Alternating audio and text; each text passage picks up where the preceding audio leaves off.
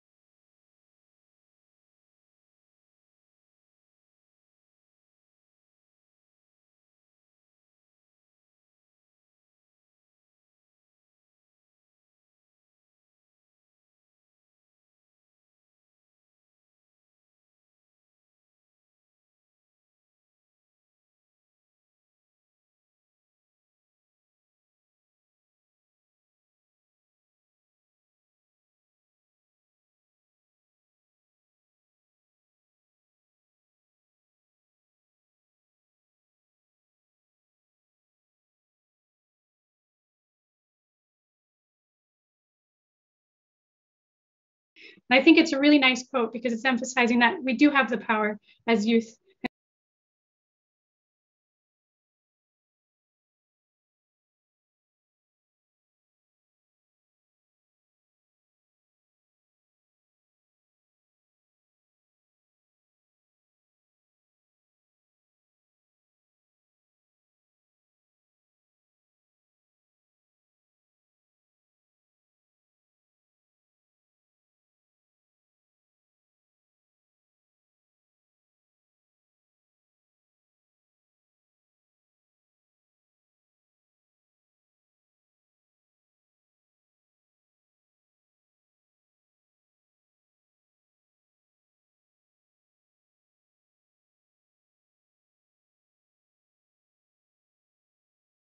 that area or that science. And you're particularly likely to see those rules no longer define a playable game and maybe conceive new rules. And I really like this concept and it kind of drives the importance of thinking beyond health and even maybe putting yourself in areas or situations that you're not used to because you have a different perspective and you might be able to share a very exciting insight.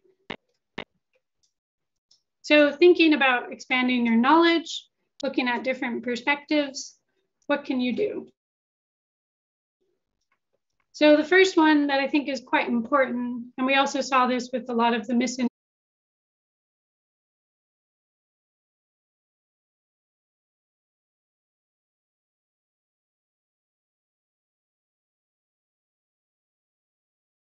look at things differently than you.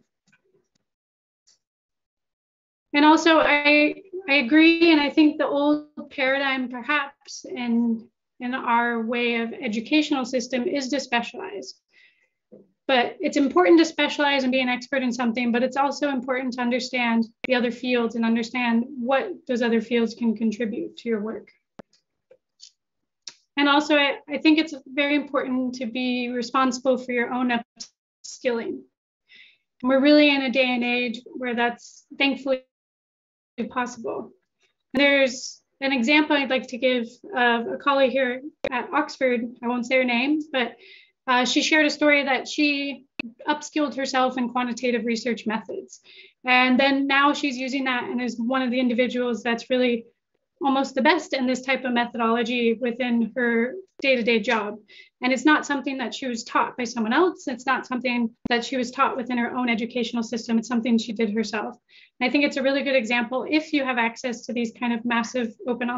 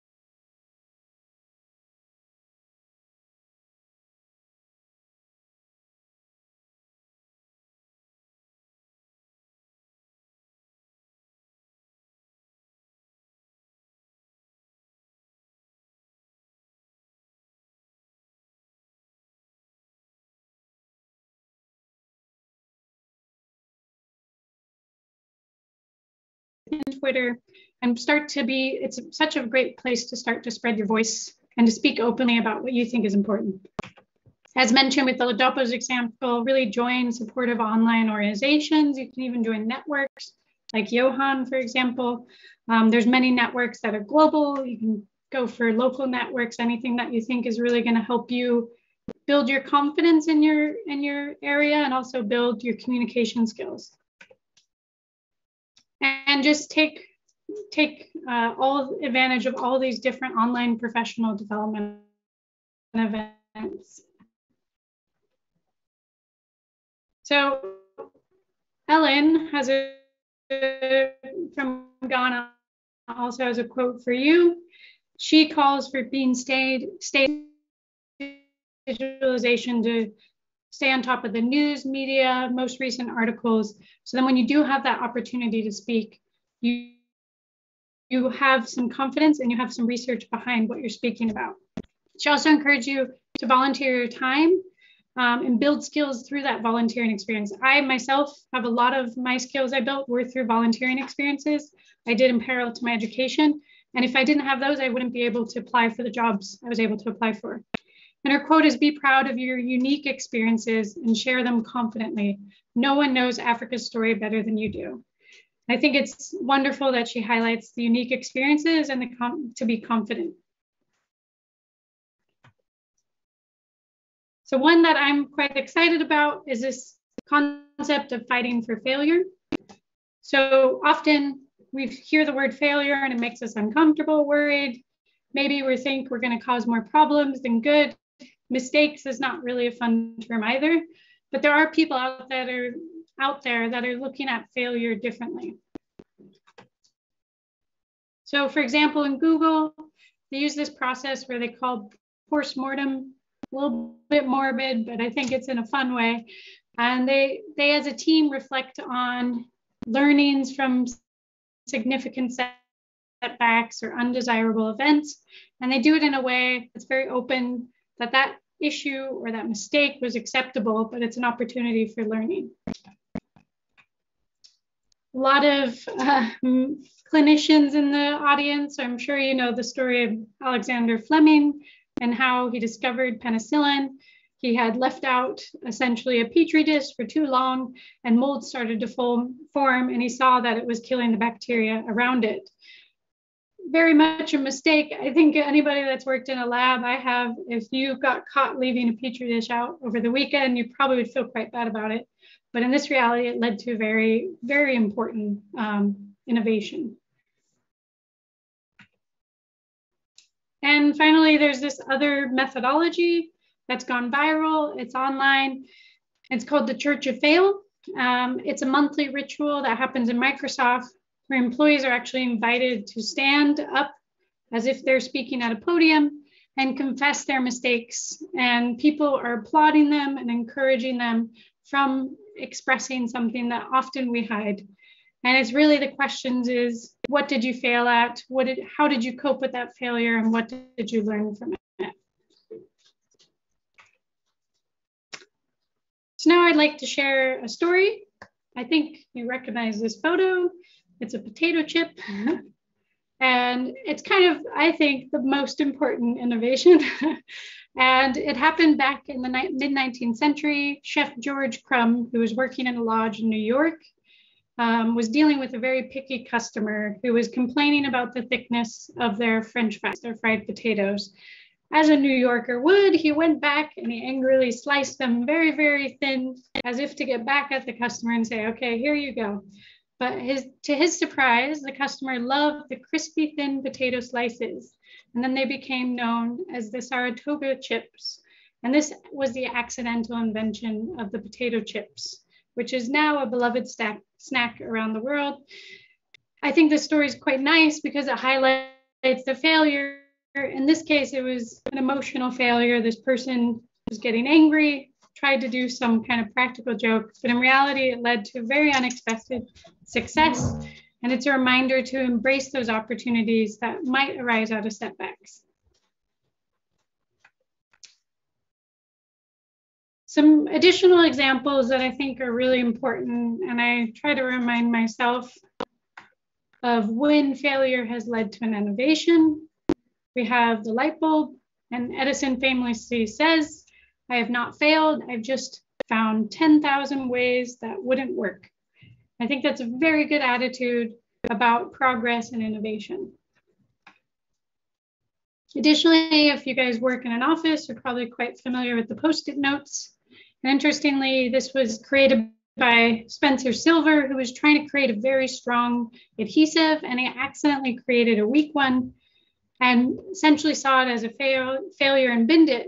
And then years later, a colleague of his, Arthur Fry, realized the potential of the weak adhesive and used it to create the sticky note. So I like this example because it shows also you might learn from a failure years down the line and that collaboration and working with someone else is a really good way to set innovations as well. And finally, Disney. We're all probably quite familiar with Walt Disney.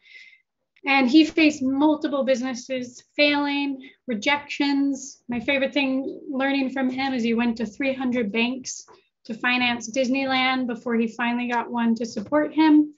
And now it's become an iconic brand. So maybe you have an idea, maybe you're trying to strive to push something forward and you're getting rejected, but that doesn't mean it's a bad idea. It means you're not in the right place. We're not asking the right people. I'm thinking about failure, but I really want to emphasize is that I think there's a discomfort with the term failure and mistake. And I think it's time we need to start speaking up about the importance of allowing space for failure in order to actually innovate. And there's so many examples out there of how failure leads to innovation. So it's just about trying to push that paradigm and progress so that we can try things out. We can experiment. We're allowed to fail. We're allowed to fail and not be reprimanded. Oh, uh, I think someone might be off mute. Oh, great. Perfect. Thank you.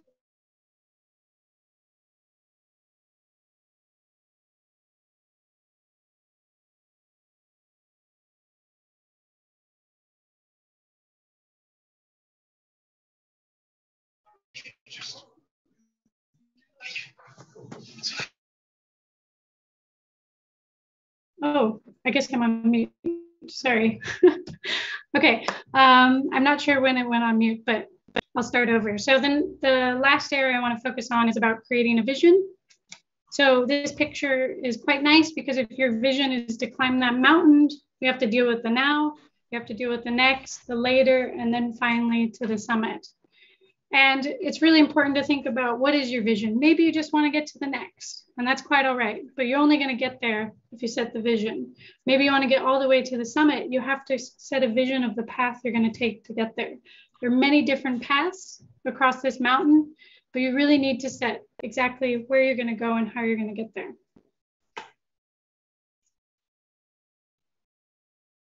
And in terms of creating your individual vision for your professional development, I think often we get asked, what is your five year plan? What is your 10 year plan?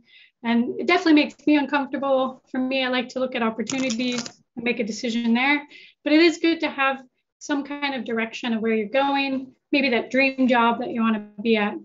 So these are some seven different areas you could think about in setting your individual vision and kind of what it does for you. So setting that vision gives you clarity and direction.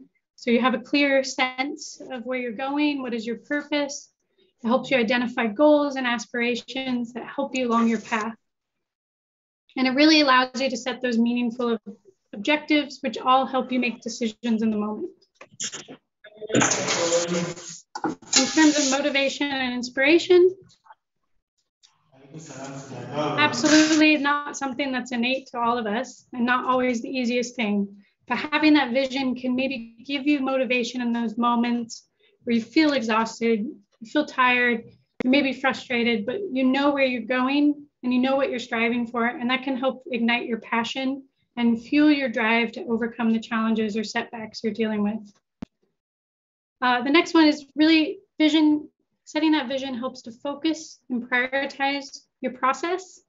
Um, it focuses your efforts, your actions. We all have finite resources in terms of our energy and our time. So you really want to prioritize what are you doing now and what are you, is it working towards your vision or not? It also enables you to filter out those potential distractions, helps you make choices that align with your future, and channel the energy and resources you have. In terms of personal growth and development, having a vision really pushes you to learn and acquire those new skills that bring you to that vision. And for me, I like to, for example, look at a job position of a job I want in 10 years and look at the set of competencies and think, do I have those competencies? If not, how do I get those competencies? In terms of decision making and planning, I think this comes up through all of those, but I think it's also a point to highlight on its own. It really gives you that ability to evaluate the opportunities that come your way.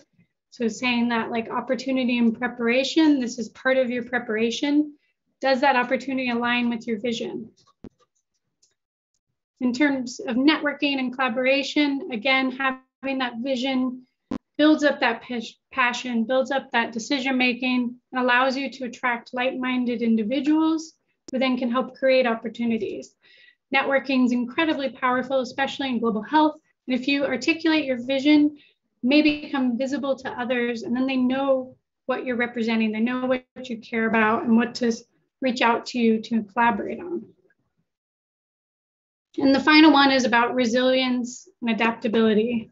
So having that vision really helps you navigate, again, those setbacks and the changes that might happen within your professional career. Maybe you have to adjust your path because something comes up and you can't overcome that challenge, but you might be able to still get back on the path and align yourself to that vision. So, really, what this is, what I'm saying here is that your vision provides that roadmap for your own professional journey. It guides your goals, your decisions, your actions, and it really allows you to embrace that envisioning of your future and unlocking your potential. Because now you're you're working forward not for that paycheck, not for the day to day, but for what you're trying to achieve in the world, what you're trying to contribute to your community. We talked about individual vision, but of course, there's the importance of the collective vision. And there's a collective vision for your community. And these are different aspects that I think are important. Uh, I'm not going to describe them all for the sense of time, but there's engagement, cooperation, again, setting that purpose, having sustainable development. This has come up in quotes from, from some of the GHME alumni that maybe there's funding, maybe there's a new organization, but it's not sustainable. Building that resilience, the adaptability, fulfillment, and support. And it really becomes a rally point that inspires collaboration, empowers all the individuals within the community. Having that shared vision can strive towards a prosperous and inclusive environment that enhances the well-being of the members as well. So I think it's a very good exercise to sit and write down what your own vision is, what you need, what is your path to get to that vision, and then what is your collective vision? Who is within your network? What is the? YOHAN, um, at the beginning, they showed a fantastic vision for what YOHAN is trying to achieve. Does that align with your own vision? So I like this. I'm going to end the visioning um, stance with this quote from Lao Tzu, which I think is very nice, very simple, that says, A journey of a thousand miles starts with a single step. And while it's important to have that vision, don't forget to be in the moment. Don't forget to enjoy the process and value each step because that is your life. And while it's important to work towards a vision, it's also important to enjoy your day to day. And there's this fantastic quote from another GHME alumni from South Africa. He says, inspiring true leadership begins not by merely envisioning African youth as future leaders, but by embracing the notion that leadership knows no timeline. Let us ignite the belief that we can be remarkable leaders and are present for leadership in a transformative journey. Very well said. I think it's really nice. It kind of touching on that concept of changing the paradigm and belief about what creates leadership. There is no timeline. Start to stand up and show that you're a leader. So we have about 15 minutes left. And I want to invite you again to use this tool Menti. So maybe you're already there um, and maybe you're just joined in. So if you didn't see this at the beginning, we're using an online polling tool called Mentimeter. And you can join by opening up a tab and going to menti.com and enter this code 4132 5348. Or you can scan this QR code with your smart device. And I was, while you're getting on there, I want to highlight this exercise. So I work in co-creation and I'm very fond of different types. Oh. Oh yeah, oh yeah, give me, give me, Oh, give I us think uh, best might practice of this. accidentally be off I don't know. mute. If you don't mind, I'm just gonna mute you. Um, okay. So I like to use exercises as a way to build your vision, for example. So this is a exercise called the Blue Sky Vision exercise. It's a creative way to do forward thinking activity. You can do it as an individual or you can do it as a group. And the concept is that you're trying to envision a future scenario without limitations or constraints. So often when we try and create a vision, we start to go through our mind about all the barriers, all the things that might prevent that from happening. It's an activity to think if those barriers weren't there, what would I achieve? So we can't go through the full exercise, unfortunately, but there's a link and I'll share the slides where you can go and there's a script and I encourage you to host this with your friends, your colleagues, or even go through the exercise yourself. And I'm going to go to the Menti now. And the question to you is just thinking about vision. very, very much off the top of your head. It doesn't have to be well articulated or anything. What's the vision you have for the future of your community? So it can be your local community, it could be your global community, it could be the African community. I'm going to put the code up for anybody that can't. If you cannot access the code, you're very welcome to unmute yourself and speak out your vision as well. And if you can't access the, so, the code, you'll see the question on menti.com. You get about 200 characters to articulate. I know it's not an easy question, so I'm going to give a few minutes for you to answer. Oh, great. We're seeing some come through. You want health, equality, and zero disparity in healthcare. Beautiful. Love it. You want to solve many disease issues using biotechnology. Very cool. So you're definitely embracing digitalization. You want a global vision of raising change agents. So really raising up those change agents. Wonderful. I love that. I'll give a couple more minutes. And it's all anonymous. So you can say whatever comes to mind, whatever's coming from your heart. Promote sustainable food systems. Beautiful. There are a lot of medical myths in my community here in Nigeria. My goal is to start a foundation to address different myths with medical facts. Awesome, myth busting. Before the year runs out, I'd like to open a YouTube channel. That is a wonderful idea. I think you should definitely do that. Health literacy and education, health insurance, low access through health policy in the nation. Wonderful health literacy, so important. Definitely encouraging people to understand what they can access. Community awareness through collaborative efforts geared toward better health for everyone. Wonderful and embracing the community, empowering the community to solve infertility problems through my clinical laboratory experiment. Awesome. That kind of science is very, very valuable. We need that important global health via active participation using evidence-based decision-making to improve the health in sector. That is music to my ears. That's absolutely important. We have a future where investment in sub-Saharan African institution is governed by its citizens and as opposed to corp corporations in other countries. Awesome. Healthy lives and well-being for all people of all ages. Embrace and refuse free environment from incorporating biotechnology means. Better governance and leadership, infrastructure, better infrastructure, ease of life, improving economy. These are all really wonderful. I'm so happy you're engaging with this.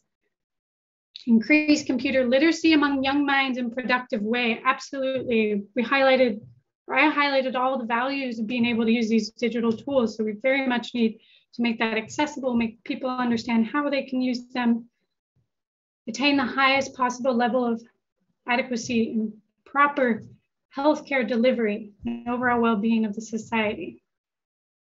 Becoming a better place with good healthcare facilities for everyone. Wonderful. That's it. I love that. That's exactly why I got into global health. I think everyone should have good access to healthcare and be able to live a healthy life. These are really beautiful. So I'm gonna let you keep putting those in. I see we're coming to nine minutes. So I just want to share one last quote. And while I'm sharing this quote, I want you to think about what is the quote that you would like to share out? What do you want to say to everyone in this room, to the youth in Africa? This is a quote from Janet. She's the current executive director of Global Health Mentorships. And her quote is If leadership is key for universal health coverage to be achieved, in sub-Saharan Africa. Is it not high time attention is paid to leadership development and context-specific approaches? So I'm going to open that tool again. And now there's an opportunity, if you like, to share your quote. It can be very short, it could be a sentence, it could be what you said in your vision. But is there something you want to say to everyone in this room and to anyone that sees this recording. And if you're in Menti, just make sure to press go to slide and it'll say, what do you want to say to your peers regarding being a voice for global health equity in Africa. So I'll give a few minutes.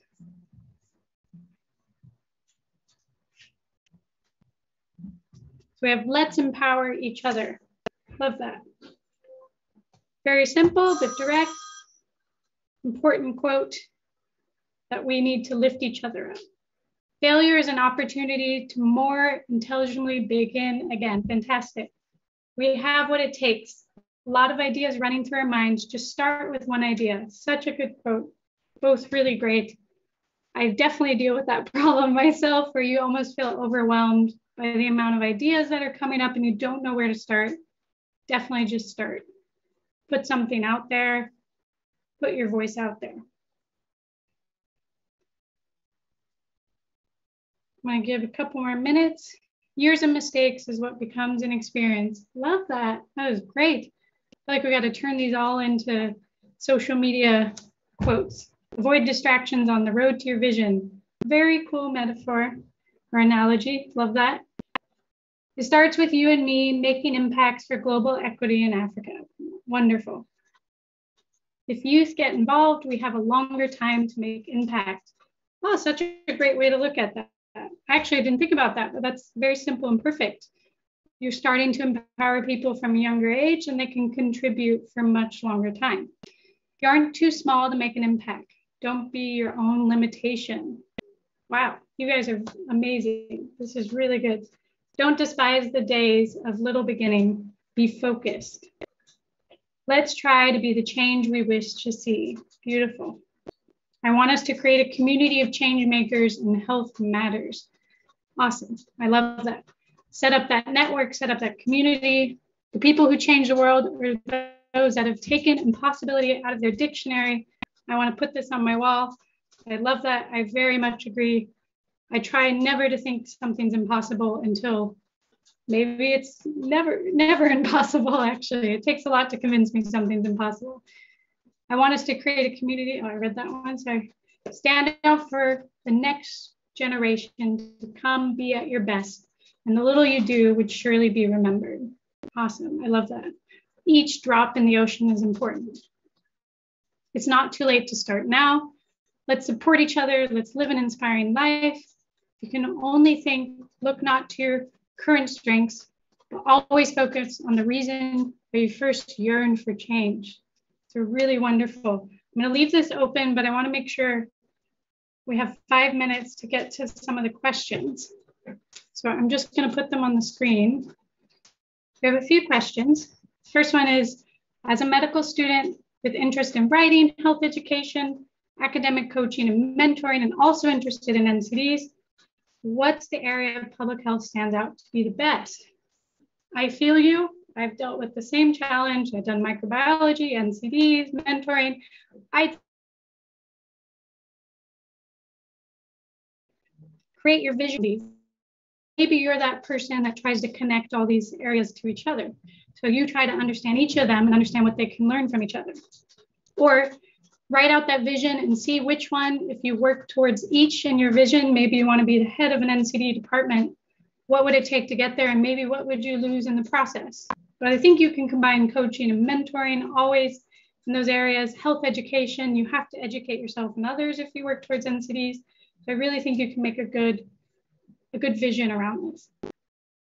As a pharmacy student interested in health policy and advocacy, how do I get involved? Perfect. So start to look, you probably already have, but look at all the policies related to pharmaceuticals, start to think about who are the big players, pharmaceutical companies that work with governments, understand how they engage with each other and where you would imagine your role to be. And then how to get involved now, I would look for those nonprofits, online networks, anyone that's looking at this intersection between policy and pharmacy, and then just start speaking up, build that knowledge. Anytime I want to advocate something, I always want to bring up my own understanding first so you know you're advocating for the right thing. See more coming in. So we have a couple more minutes. My vision is to create a sustainable and improved healthcare system in Nigeria. Awesome. I love that. I want healthcare to be accessible for all. Such a beautiful vision. You have a big, powerful network here with you. Use them to make that a possibility. Oh, the recording has how stopped. How do we join GHME? I will send out the slides We have a program starting up towards the end of this year. It's through an online. This meeting is being recorded. You take an exam. The exam is not to say if you're good or not, but it's actually to test these attributes we match you in and your personality.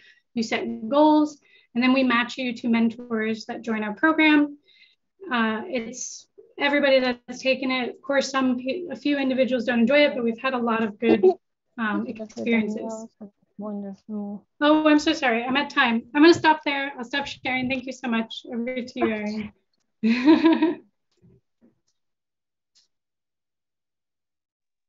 Thank you, Dr. Danielle, for that wonderful presentation. We are right on time.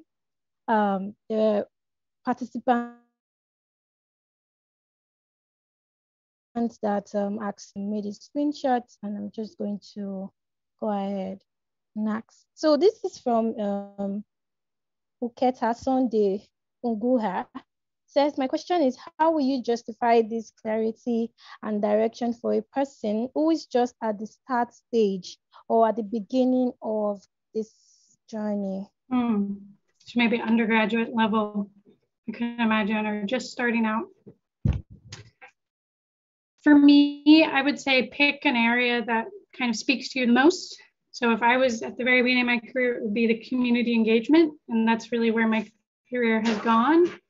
And then trying to understand how you could use, for example, expanding your knowledge, seizing opportunities, and using digital structures to work towards building community engagement. I think everything in global health, unfortunately, often feels overwhelming and there's a lot of areas of career development and like the quote that came up just start with something and start moving forward I hope that answers the question. Thank you so much, Dr. Danielle. Um, we'll give one more minute for question. You can post your question in the comment section. And then um, I've learned quite a lot. If you have learned a lot, you can also post that in the comment section just to know that you've learned. I one of the things that struck me was the church of failure. I never knew there could be a church where employees could get, have the opportunity to share their failures. Many times we think that failure is the end, but mm. I've come to understand now that um, you should be proud of um, of how um, what you learn from mm. um, the things you think you failed from, and that you should be proud of your unique experience share them confidently through digitalization. And you can use social media platforms like LinkedIn, um, Twitter. Um, yes. Then uh, one of the comments um, Justin Bruno said, he said, I have not failed. I'm just, I've just found 10,000 ways that won't work. Exactly. I think that, that was one of the, um, one, that was one of the mm -hmm. words um, Michael Faraday um, he tried so many times. Okay, amazing. I see lots of um, comments Thank you. I love it. Um, Damilola Okpeyemi.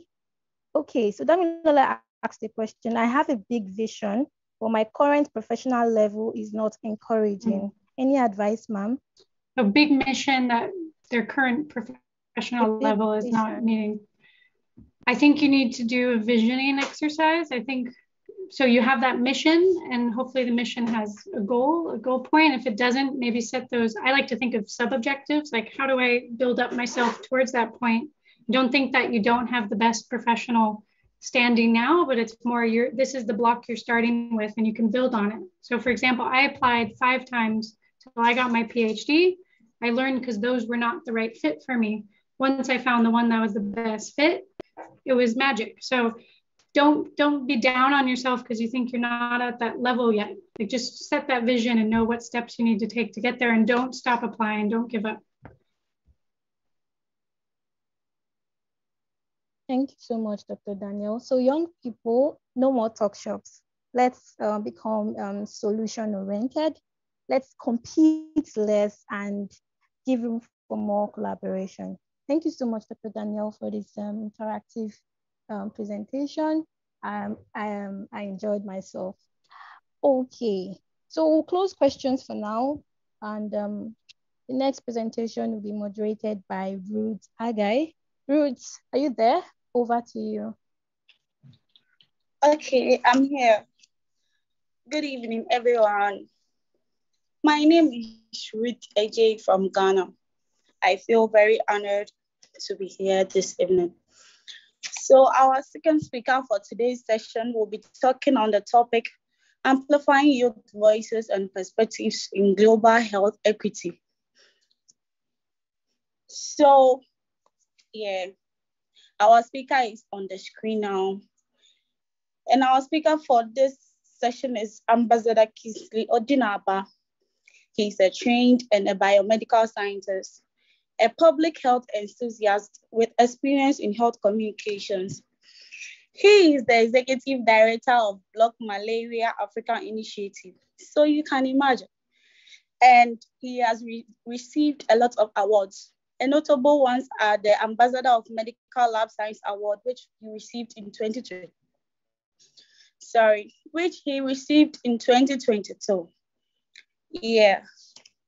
So, ladies and gentlemen, help me welcome Ambassador Kingsley Odinaba as he delivers his speech. Ambassador Kingsley, over to you.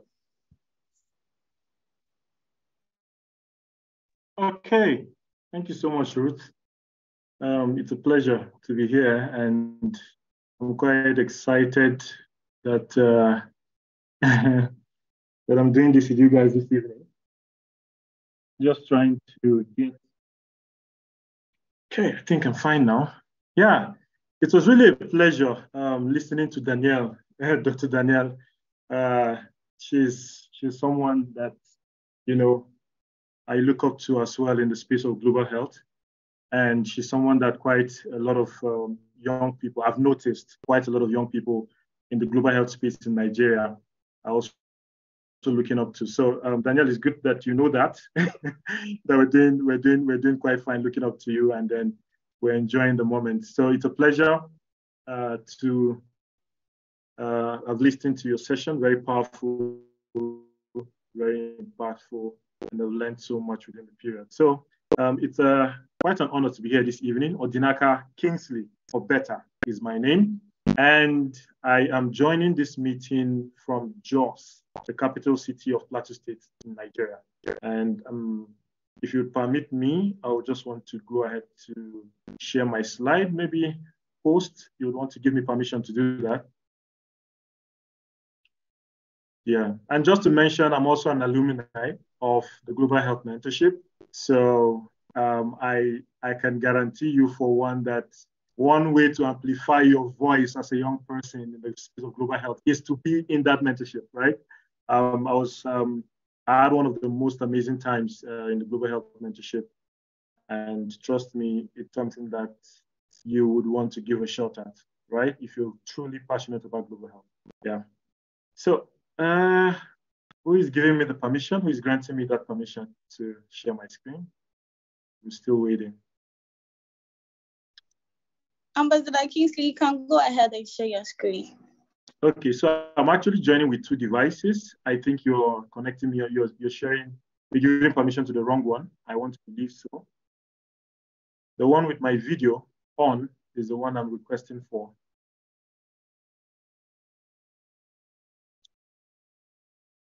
Yeah, global health conversation. Huh? My goodness, some couple of years ago, young people have not, you know, like young people don't see the need to meet together and have this conversation. I'm just so excited that YOHAN have been able to like take deliberate action, you know, on this, and then we've been able to like create a platform where young people can meet themselves, discuss global health, discuss the challenges, discuss the progress, you know, and all that. So this is very critical at this moment. I want to say that um, this is greatly done, and kudos to YOHAN. Thank you so much for doing this. It means a lot, and you will soon see the impact. Trust me.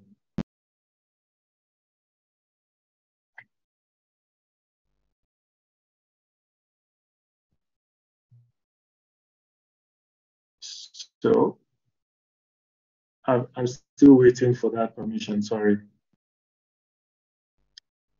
Yeah, it doesn't say your code. Are you still? Yeah, I don't know if it's indicating that from the chat. Yeah, so I'm not a co-host, and until I'm a co-host, I'm not able to share. Maybe Uh, there might be a limit on the number of co-hosts. If if it would help you guys can make me no longer co-host than make him, might be the challenge. Okay, so I think the issue was making my other device a host. So I would maybe have to log out from that. So now you have one space. You can now make the only existing device a co-host. Once you do that, then we'll be fine. And I also want to commend like the uh, the number of persons on the call today it's it's great. YOHAN, you have a very good network of people, and seeing that very large percentage of these people are young people, it gives me so much excitement that I'm talking to my guys. So we're going to say it as it is, and we're going to we're going to communicate, you know, in the area in the language that we both understand, right? So and Daniel has set a very wonderful uh, pace for us, so we can move on that speed. Uh, Ruth, are you able to do that? I'm, I can't still see myself as co-host. Please, I'm begging now. Please help me.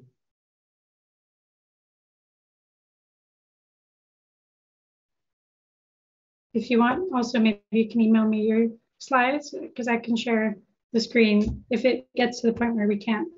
And then you could just say next slide. I'll do the Okay, the next. okay. Uh, I was think I was going to do that earlier, but then since I had the opportunity to be host, I felt it was going to help me move faster. So, but then if if this doesn't work, that would have to be our options. Emmanuel, please, can you make him the co-host?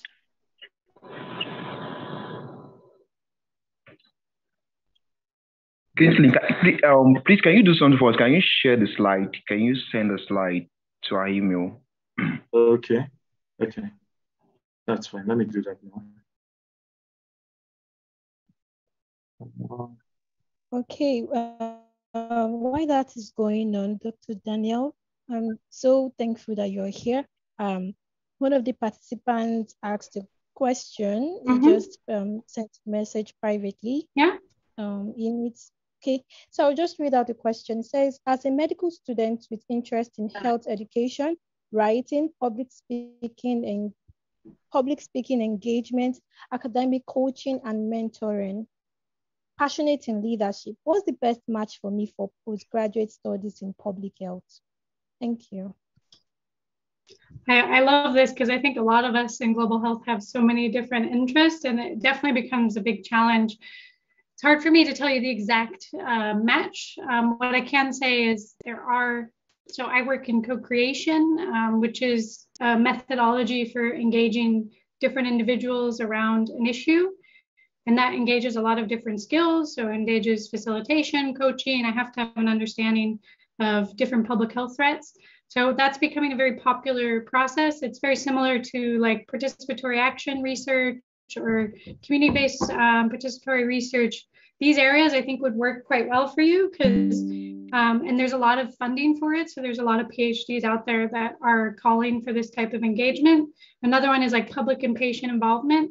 So I'd say if you're at the point of a master's or a PhD, try to look for those topic areas and then you'll be able to even focus that in on these different aspects that you think are important.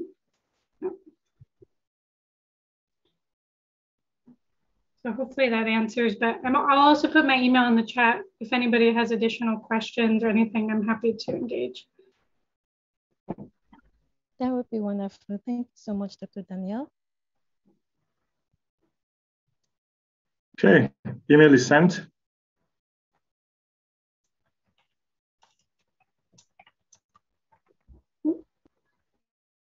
Kindly confirm you received that.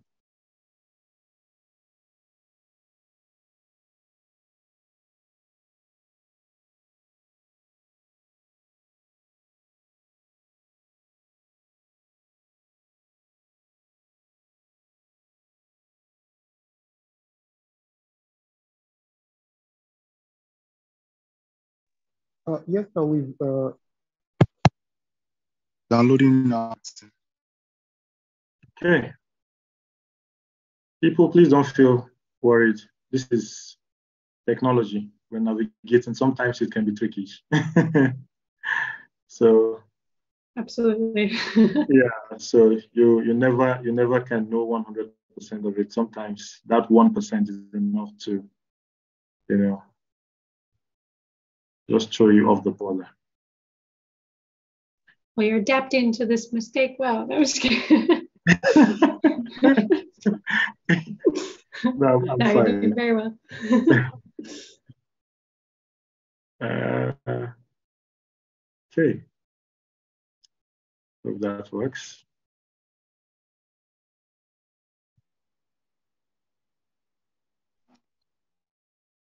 Exactly. Any progress? Yes, we are working on it. We're Thank you working so much. Your, your slide will be up. Thank you so much. Whoever will be in charge of it will have to be very fast with me as well. There are quite a lot of animations on it.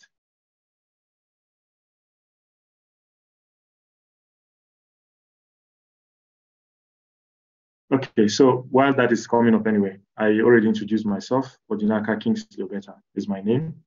And, um, you know, the conversation we're having today is one that is very critical and is one that really requires that I, I want to believe. I was just looking through earlier, I think in the WhatsApp group, I deliberately had to register and join the WhatsApp group.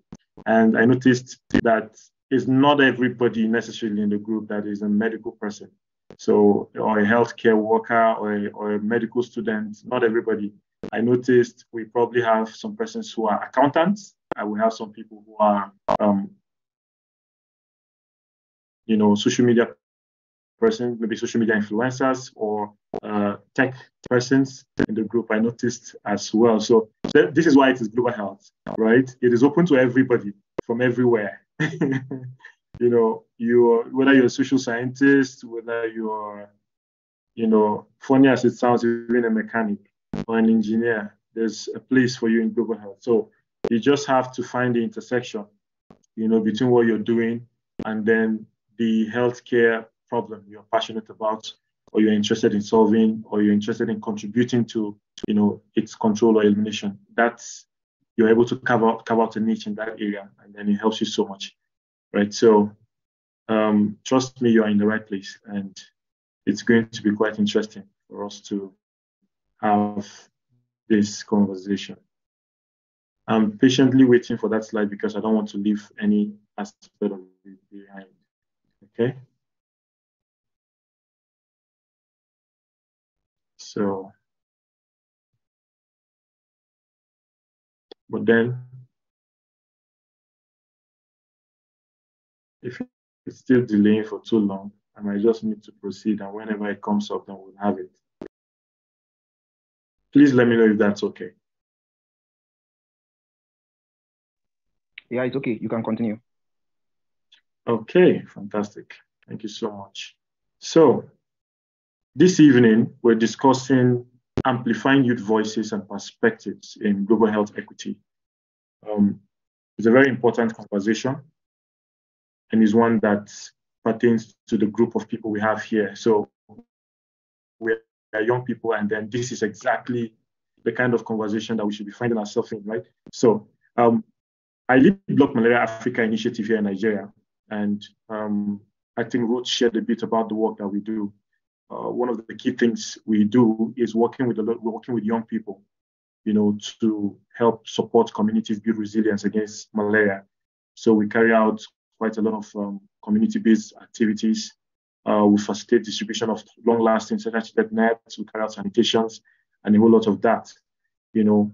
And we also contribute to policy development um, regards to malaria elimination at country level. So that's also very important. Um, this evening, depending on where you're connecting from, it's evening Nigeria. Um, I'll have I have a scope of presentation that I want to take us through in a bit to help us understand the concept of amplifying youth voices, you know, uh, and perspective in global health equity. And we'll be looking at an introduction which covers basically an introduction of who a youth is.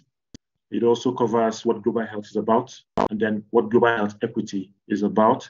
Then a bit of um, light on the branch, some of the branches of global health. Quite a lot of branches make up global health, but then I'll be highlighting just a few. And then, for the sake of justifying why young people have a voice in global health, I've also decided to uh, to capture some principles of global health. There are quite a number of them, but then I think I featured about six or seven principles of global health, you know, just so that you can see these principles and then see that it covers the population, youth in it, or the population, young people. So you have that confidence that you are not in the wrong spot or in the wrong place. Or if you are interested in global health, then you're not having the wrong interest. We're also going to look at some of the existing disparities and inequalities in global health, um, just so that we're able to know why it is important for young people to rise up to begin to address uh, some of these gaps. Then we'll go straight to, you know, look at youth engagement in global health equity. We'll take a look at the importance of amplifying youth voices in global health because this has been an argument for quite some years now. You know, it's been an argument. Uh, people wonder if it is really important for young people to be featured in global health uh, or they just have to be there, you know. So we're going to be looking at why it is important. And then, okay, the slide is up. Yeah, so keep me on that outline and I will say thank you from this end. Thank you. So uh, we're also going to look at the impact of youth participation. And then uh, this is not necessarily with respect to global health, but then cutting across every other aspect of life. What happens when young people are involved, you know, in solving societal issues, right? We'll take a look at um, that and then the challenges in promoting youth engagement, then some of the strategies for amplifying youth voices in global health, case studies, just a few case studies of where young people have really solved the problem in the global health space. And then I'll share some call to action just in points, and then I would let you connect with me. And that will be all for this evening. So now that we're good, I think we're ready to fly, right? So let's go. let's start the journey. So the, the first question here is who is a youth? Because a lot of the times people have actually had a lot of conflict defining this uh, term youth. When we say youth, what does it mean? What comes to your mind? I want to see people sharing responses in the chat box. Let's make the session a bit participatory, right? So I give you the energy, you give me back. Okay. So who is a youth? When you hear the term youth, what comes to mind? And then are you a youth as a young as a person on the call now? Are you a youth? Is it a yes or no? I'm a youth. I'm not.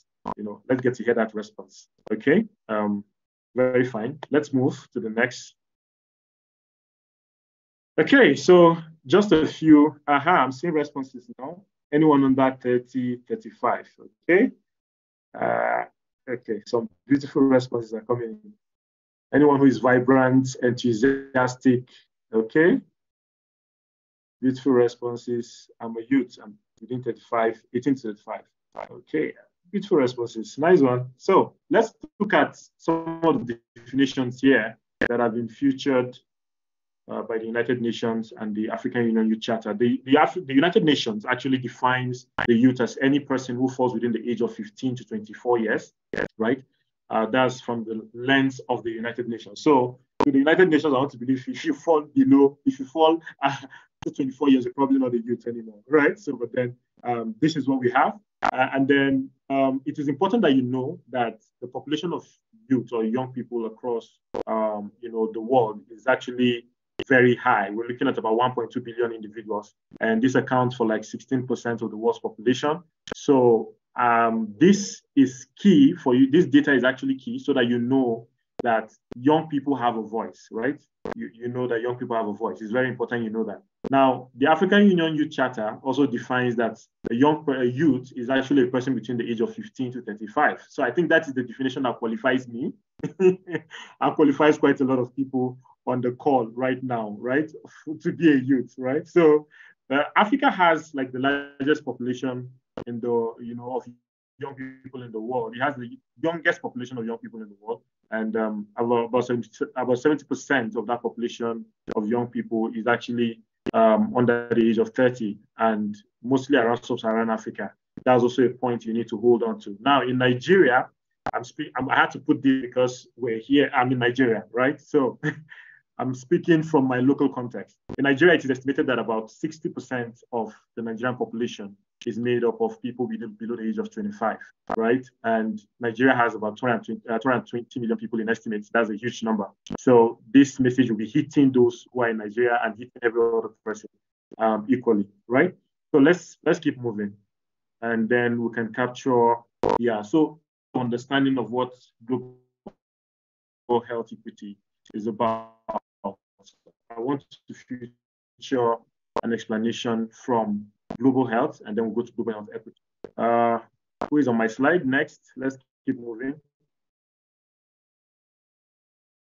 Thank you so much. Fantastic.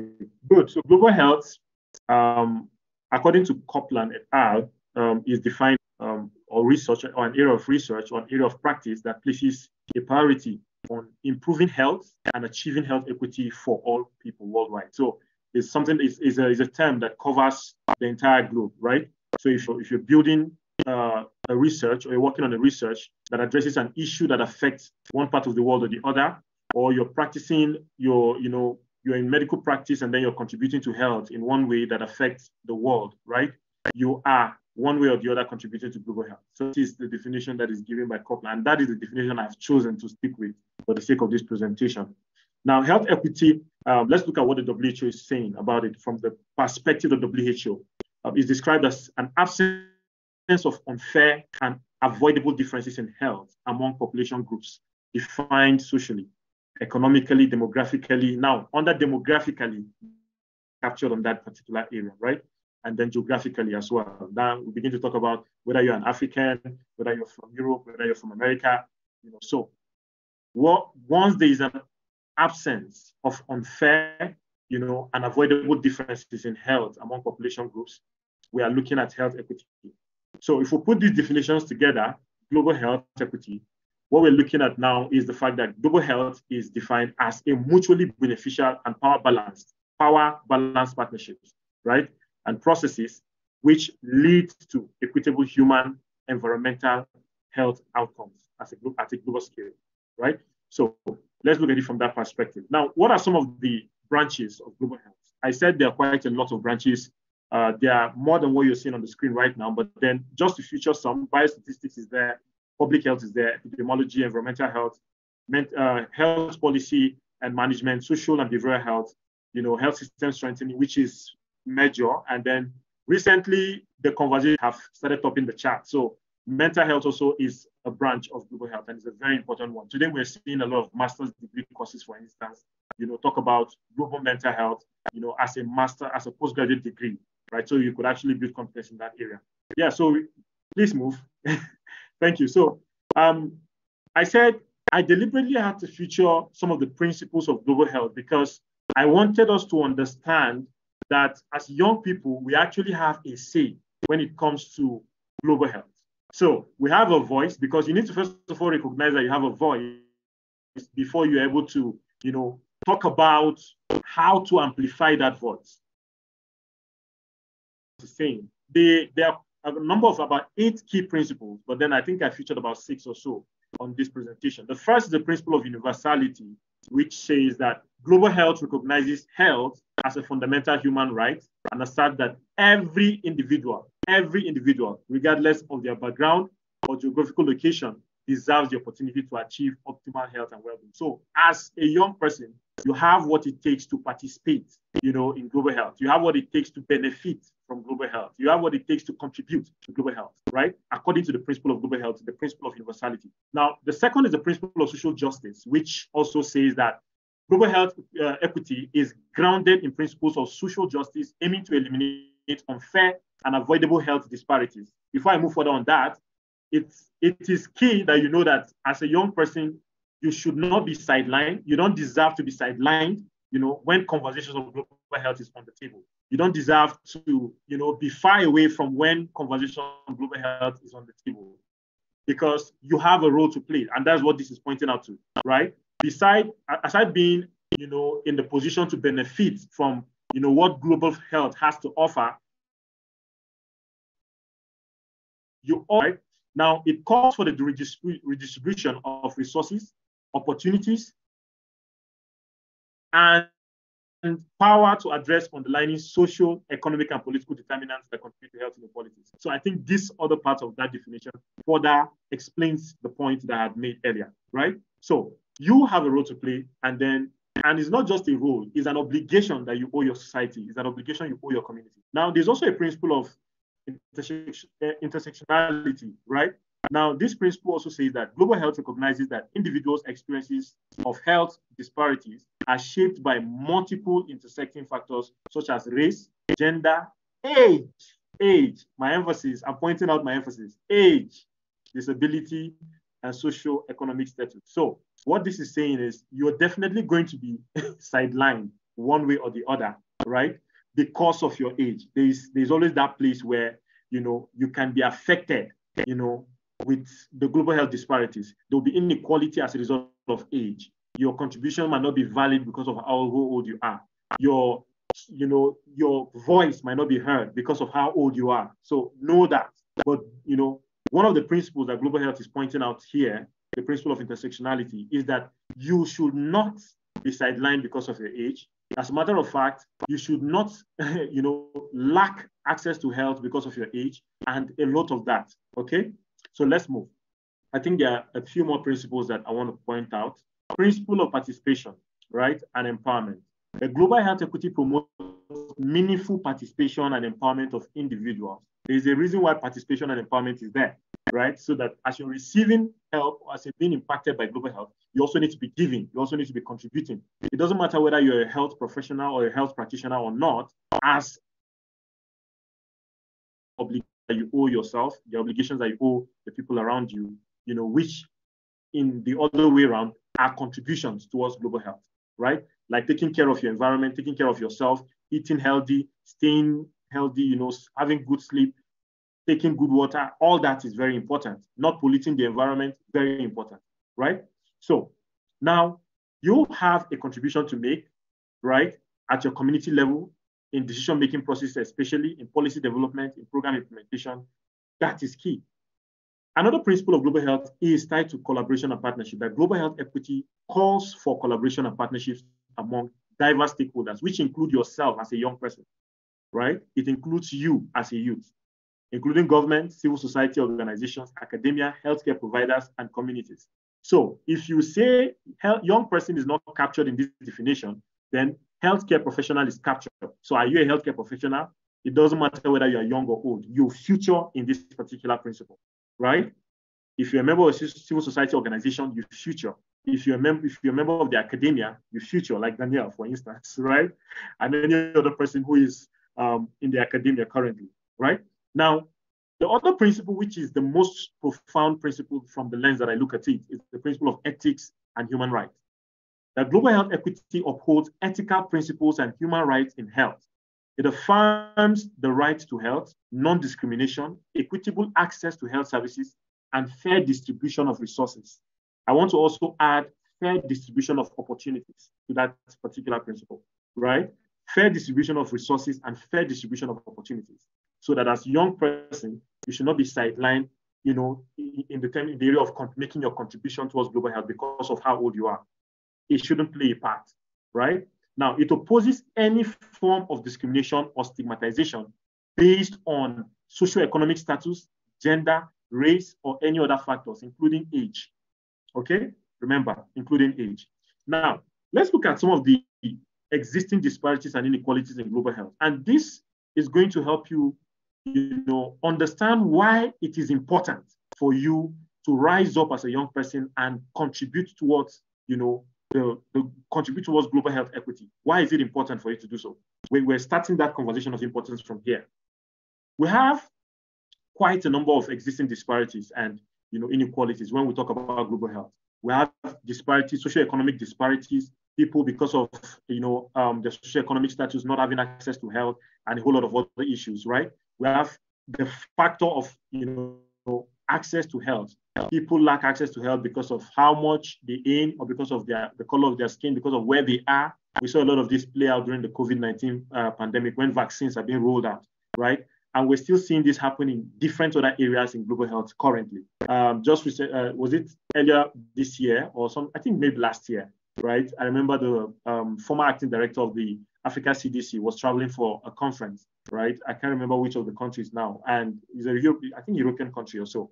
And there was a lot of visa issue, and that sparked up another conversation in the internet. You understand? It sparked up another serious conversation. That if I'm supposed to be a speaker, for instance, in this conference, he was saying, uh, why do I, you know, why am I getting some of these strict visa regulations? You know, there were just too many issues. So there's also disparities around racial and ethnic disparities. We have gender inequalities or, you know, or inequities. We have social determinants of health, which are like basic when it comes to the disparities, right? We also have disease burden and infectious diseases, geographic disparities. You are an African, you are in Africa. Because you're in Africa, you can access this particular, um, you know, support from global health or this. So these are issues, right? So on the basis of these issues, every single person on this um, call, one way or the other, has been affected by one inequality or the other captured on this screen. One way or the other, you've been affected by one, right? So it's enough reason for you to stand up and lend your voice for these inequalities to be, you know, fixed, for these inequalities to be adjusted, right? For things to be done right is enough reason. Okay, so you don't even need to be a healthcare practitioner before you've been affected. As a normal member of the society, who doesn't have access to healthcare, you have a voice, and global health has given you that on the principle, you know, of um, of its ethics and human rights. That you have access to healthcare, and you need, you deserve that. So you need to lend your voice on that, right? So let's move a bit, and then we're getting a bit into the heart of the conversation. But this is just to help us, you know, understand our place in global health, so that when we begin to talk about how you should take action, it will be clear to you that you have a ground to start from, right? So, which is on my slide? Can we move? Thank you. So, what does it mean if we're looking at youth engagement in global health? What does youth engagement in global health equity looks like? What does it mean, right? Um, youth engagement in global health equity, um, you know, it refers to the active and meaningful involvement of youth in efforts to promote health equity in the global scale. So what that means is you contributing, lending your voice to help addressing health issues, not necessarily for yourself alone, even though that counts, but as well speaking on behalf of a population or speaking on behalf of your community or speaking on behalf of your country or speaking on behalf of people who have been deprived from having access to you know, benefits that should come with global, global health. So as a young person, once you're involved, you understand, once you're making effort, you have meaningful involvement, you know, in promoting health equity on a global scale. We look at you as somebody who is, you know, who is involved in, um, you know, global health equity as a, you know, as a young person. So we see youth engagement from that perspective. Now, it encompasses the participation of young people in global health. It also encompasses the representation of young people in global health, right? Whether you're a member of um, an organization contributing to health policy, health policy development, or contributing to um, different aspects of health, you know, once you're there as a young person, you're representing. So the representation of young people. Um, it's also talking about the influence of young people in decision-making processes at the global health level, right?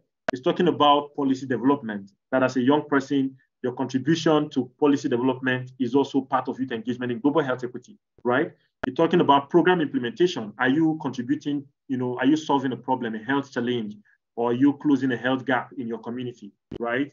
Program implementation. If you are involved in that, you're also the person we're talking about when we refer to as youth, and when we refer to youth engagement in global health equity, right? So are you contributing to research, right? Health research, are you contributing to the development of local data? You're part of what we're talking about.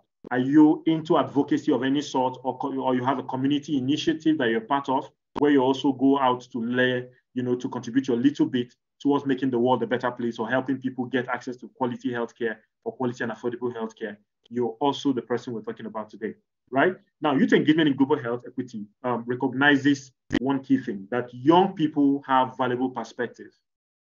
It also recognizes that young people, irrespective of their age, their gender, their race, their religion, their tribe, they have diverse experiences that is very critical to helping global health policies, you know, making the best of global health policies right?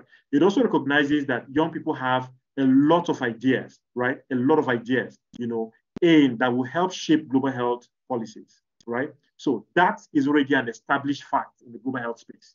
Now, talking on youth engagement in global health equity, um, you know, okay, thank you. It involves creating platforms. When we're talking about youth engagement and global, uh, global health equity, we're looking at the, you know, the possibility or the, the, the strategies involved in creating platforms and opportunities for young people to share or air their voice or their opinions, right? So there are various experiences, you know, and also that platform created for them to deliberately contribute towards shaping global health policies, right? Or shaping global health programs, or shaping global health interventions, right? And I learned quite a lot of this through the Global Health Mentorship Program um, that Daniel was talking about earlier. So I would I will be sharing more later, right? Now, still talking on this, youth engagement in global health equity, you know, is also a form of engagement that empowers young people. So it's not enough that young people are contributing, right, to global health. The youth, when we talk about youth engagement in global health equity, we're also looking at how is the platform created empowering the young person who is contributing to that policy, who is contributing to that the success of that program. So it's not enough to want to say that you know I used to make this point that young is it's high time that young people you know are are, celebrated beyond just carrying placards and standing on the road and carrying placards for awareness of one health issue or the other, right? What, how exactly are you supporting this young person to build skill in project management, to build skill in advocacy, to build skill in project development, right? So youth engagement in global health equity is not just about young people contributing. It's also about young people receiving skills. It's also about young people being having their capacities developed, right? It's also about helping young people realize their rights in health. It's also helping them realize that as, as young people, they have a stake beyond contributing. They also need to be empowered because there is a level to which young people have an experience when it comes to global health. We've had series of pandemics, you know, for instance, in several decades now, right? It takes someone who has existed in a decade before, you know, or in a century before to be able to share with you information about how things work. So, as a young person trying to contribute to global health, you are entitled to receiving that mentorship. You're entitled to receiving that skill, that capacity development, right? Is a part of global health, youth engagement in global health equity, right? It also seeks to, to challenge the power of imbalances, right? It challenges the power of imbalances. Today, we look at the global health space, and then it's almost as if there is a cut in generation. So you see, the older generation are the ones filling in all the leadership position in, in global health, right? So you look at some of the top health initiatives and international organizations contributing to healthcare, and then everybody there, they, you find it difficult to find one young person there is a there is a very strong power imbalance, right?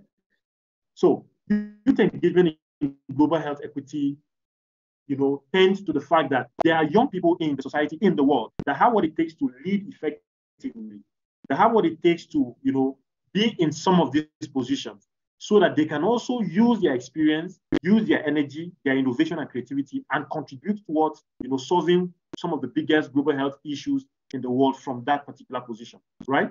So it promotes inclusivity. It also amplifies the voices of the young people, right? You, know, through diverse methods. Okay. Now, by involving youth in global health equity initiatives, we one thing we do is that we harness their energy, we harness their innovation. We also create a platform for them to make commitments to drive positive change, right? And create more equitable and just world, especially as because we're talking we're talking about health, right? So when we try to amplify young people's uh, perspective, when we try to amplify young people's voice, right, we're giving them that platform to drive change. We're giving them that platform to bring in their innovation and energy, right? And that is what youth engagement in global health equity is, you know, is all about, and that is key. Now, I talked about how we're going to look at impact of youth participation, and I said this is not necessarily tied to, it's not necessarily tied to uh, global health, but then we're going to look at it holistically, right? That as a young person, right? As a young person, when you participate in things, when you participate in solving challenges or solving problems, how does this participation impact you as a person? How does this participation impact your social, your sociability, right? How does it impact the system or the society that you belong to, right? So this is what this is about. So at an individual level, your participation in solving challenge or solving problems, right, helps to increase your knowledge as a young person. It helps to broaden your understanding about that, that issue you're solving. Then it helps you to also build personal skills, right? It helps you to make healthy choices. And it also helps you to have a sense of identity. It helps to have a you know, to have good self-esteem. This is also part of some of those things we point out to when we encourage you to volunteer, for instance, that in the course of volunteering, right, you build personal skills, you develop healthy choices, you have a very good self esteem. So, at the personal level, this is what is happening to you because you're seeing one problem and then you're rising up to the occasion to want to contribute towards solving this problem, right? Now, what happens to you at the social level, right? At the social level, you tend to build strong positive connection with friends and adults. You develop a you know you develop a good network that supports your journey in global health that supports your journey in politics that supports your journey in the academia. It depends on which area you intend to be contributing right?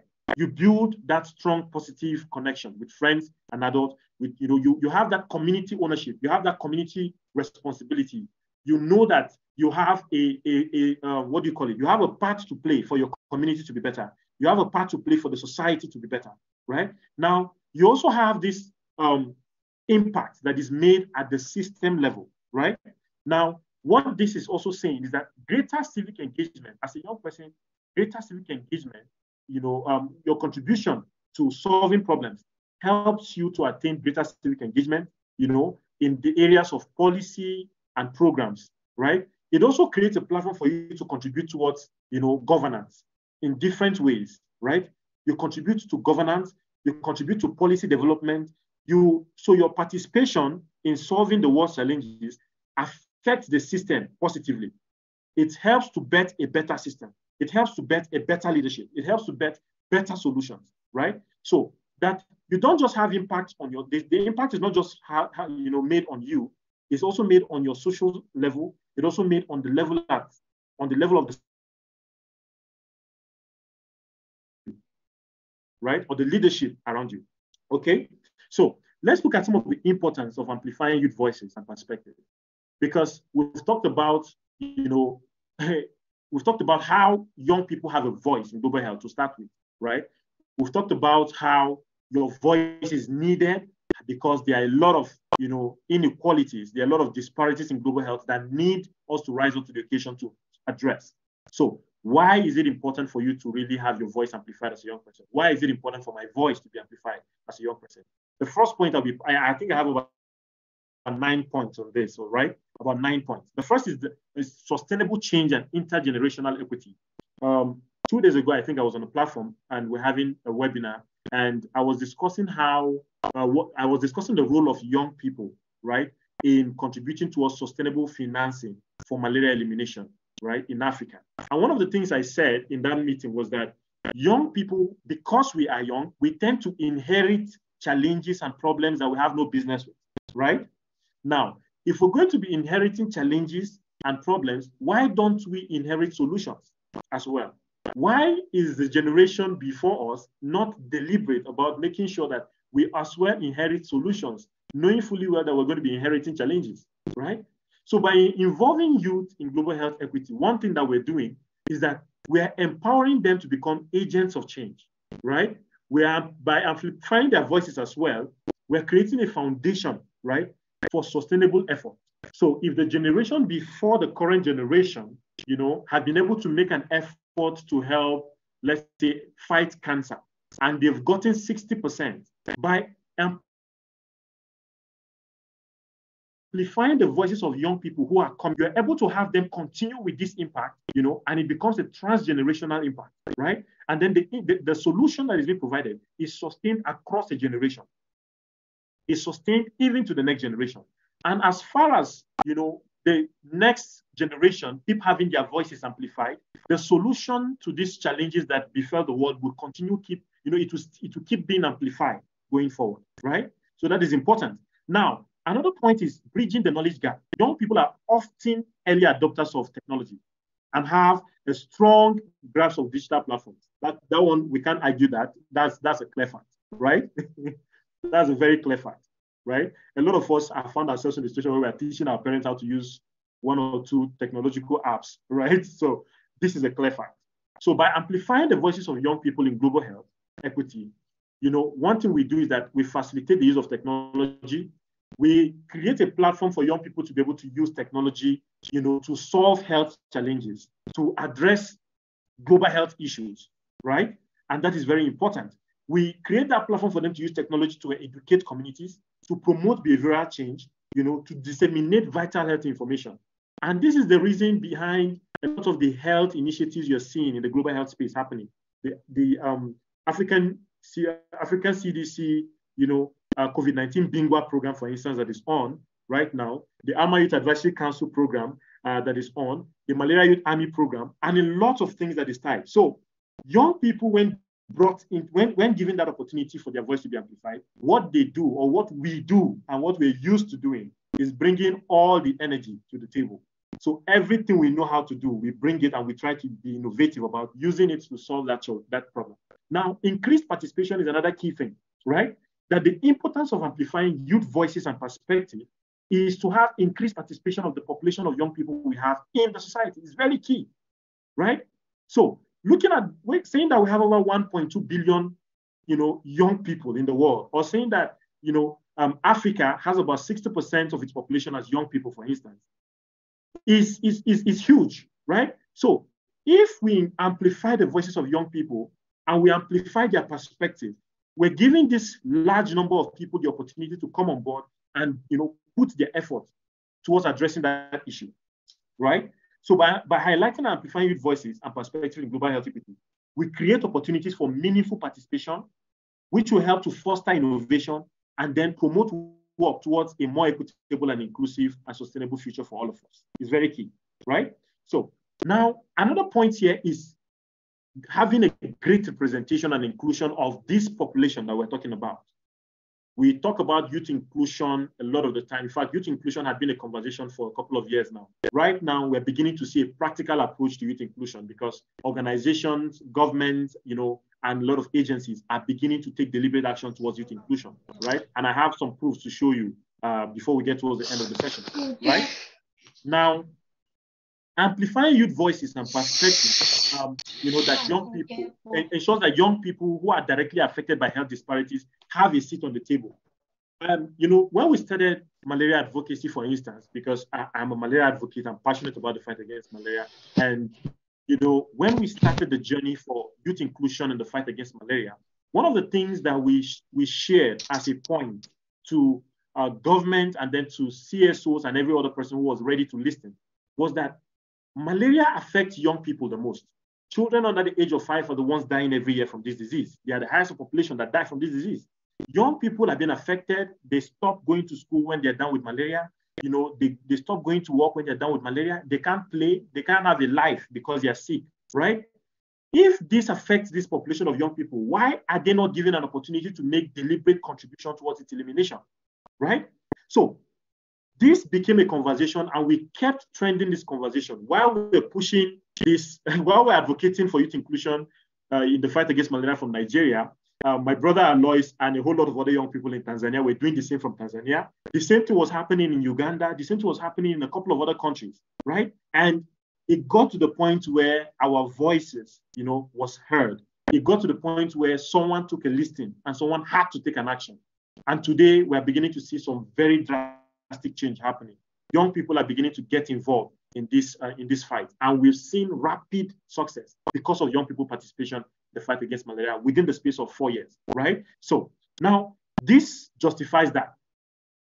This, you know, the generation before the current generation, or the generation before the generation that call themselves young people, or that accept the term young people, right, have a lot of ideas and solutions that they've been deploying over time. Quite a number of these solutions or innovative solutions to some of the health challenges or some of the challenges in global health have not really been so effective. You know, some have not been so effective. Some have been effective while it lasted, but right now they are failing as a result of a lot of changes in the earth, right? Things like antimicrobial resistance, you understand, anti-malaria drug resistance, and a whole lot of things are beginning to emerge right now in the current dispensation, right?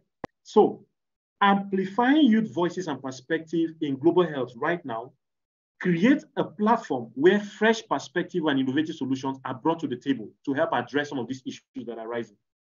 So young people bring unique perspective, creative ideas, and innovative approaches to, towards addressing these health disparities. Is a very important factor, right? Last month, I spent quite a lot of, I had quite a lot of session with young people who are professionals in the medical uh, in the medical space. I had sessions with pharmacy students. I had sessions with practicing pharmacists at different levels, talking to them about how they need to start becoming deliberate about contributing towards global health. Right?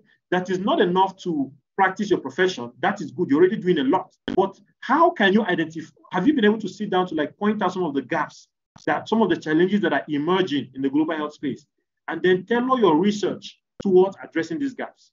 It's very important, right? Bring in your new ideas.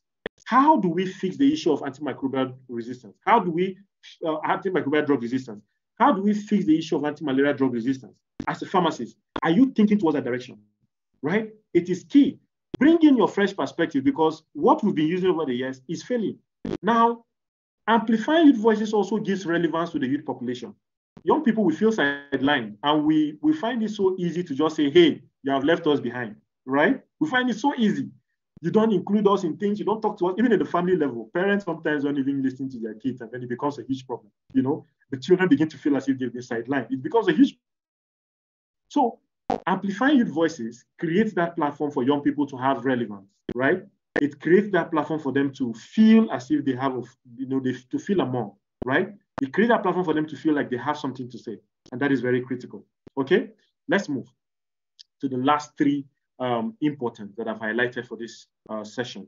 And these points are equally very important, very, very important, right? Now, we keep saying young people should build capacity and young people deserve to build capacity. But it is important to note that it is in amplifying youth voices and their perspective, especially in the space of global health, that young people see the platform to build their capacity, right? I was I was in a meeting. Okay, I, I attended for the very first time the um, African Union Pre-Youth Summit earlier this year, and we're asked to draft a position paper. That would be the first time I would find myself in a situation where I, you know, I need to draft a position paper. Now I had to go start reading about what position paper is about, how I need to go about drafting it, and all that. And then I was able to make a fantastic presentation, you know, at the end of the day of my of my position paper. And I got a lot of um, feedback in that regard. In the areas where I needed to improve, I was also told and empowered, and then I was able to also go back and build capacity in that area and then improve, right? So if, for instance, I'd not given, I've not been given that opportunity to participate in that summit, if I'd not been selected for that summit, how will I have come across the concept of a position paper, for instance? And how would I have developed the capacity to be able to know how to develop one or how to write one, right? This applies to different skills, diverse skills in the global health space, right? That by amplifying youth voices, we are empowering young individuals or young people or youth to take ownership of their health and to become advocates for. We're engaging them in skill development. We're creating opportunities that will help to enhance their capacity and help them, be, you know, become better equipped towards addressing health disparities, a lot of which we've mentioned earlier, right? Now, social and political transformation is also another key important for why young people's voices need to be amplified, right? So youth engagement in global health equity can have a very broad social and political implication, right? It has quite a lot of social and political implication. By amplifying youth voices, we foster social mobilization. We create a platform for young people to become active, right? And then by so doing, they, they get some form of social and political relevance, right? And by so doing, they're able to also build capacity to fit into the leadership roles that is going to be vacant within a couple of years or a couple of decades in the future, right? So this is very important. Human rights and social justice is also another important factor for why social, uh, for why you know youth voices need to be amplified, because by amplifying youth voices, right, we're able to create that platform for young people to access quality healthcare. We create that platform for them to have a safe environment to live. We create that platform for them to have equal opportunities, you know, for health and well-being. We create a platform to ensure that health equity is pursued with a focus on justice and fairness. So young people are not going to be sidelined because they are young. They are rather going to have that, they're going to feel, you know, they're going to feel like belonging. They're, they're going to have that sense of belonging. They're going to feel that oneness. They're going to feel that concept of universal health care or universal health coverage, right? So it's very, very important. So we have to amplify youth voices and perspective. And it's not even a question right? It's not even a question. It's not even a. It's not even up for argument. It's a fact. We need to. We need to. Young people need, need to have relevance. Young people need to have their capacity built. Young people need to contribute. And until their voices are amplified, that cannot be done, right? So what is the role of youth in addressing health equity? When we're talking about, right, we've talked about how, yeah, in the course of contributing, you also need to be empowered and all that. How do you contribute? Let's talk about how areas of contribution for young people, right, over the past um, maybe one decade now, right, to the best of my knowledge. There has never been a group of people or a generation of people that have made so much impact at the community level beyond young people. Youth own the community. Youth are the community. Youth drive the social change in the community. So, be it a good, a, a positive change or a negative change, once it gets into the hand of young people, they drive the process. So, it is up for the generation ahead of us to give us that platform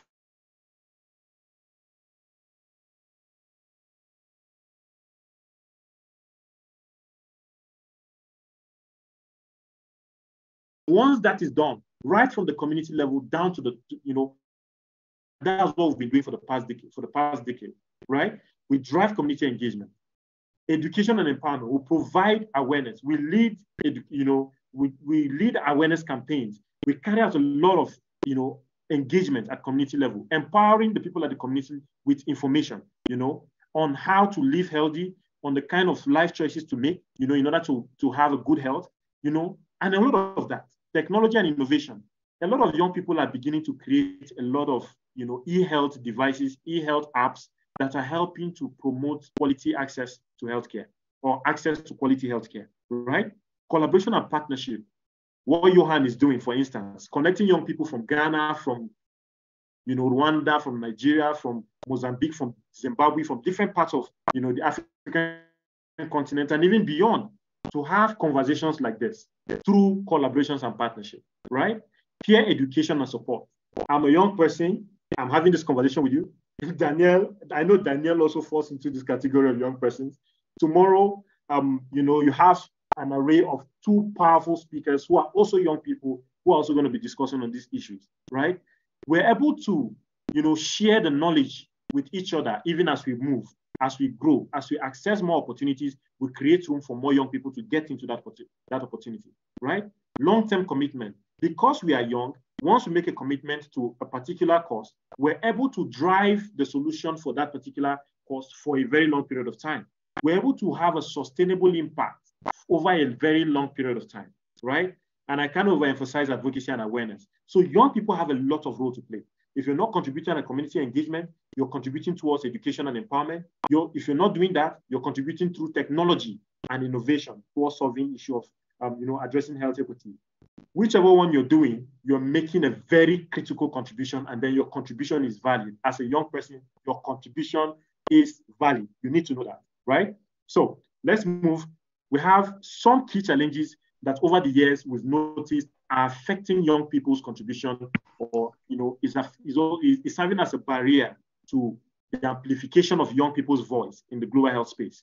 I took my time to look at this and I'm like, yes, this has to be part of the conversation and we really need to look at this critically. I already mentioned the issue of power imbalance, where I defined a situation where a lot of the leadership, you know, for some of the, you know, global health firms or global health agencies or international agencies. In fact, even in country level, at in country level or at national level, you discover that even government offices or political appointments at the highest level are made, you know, are filled with people, older generation, right? People from the older generation. So young people need to find, they need, they need to be a place for young people to step in. They need to be a place for young people to play a role, right? It's critical. So when that power imbalance is a limitation for why young people's voices are not heard. So until we become deliberate about creating that balance, young people might not be really might not be able to contribute as much as they would want to towards addressing the issue the issues we have in the global health space, right?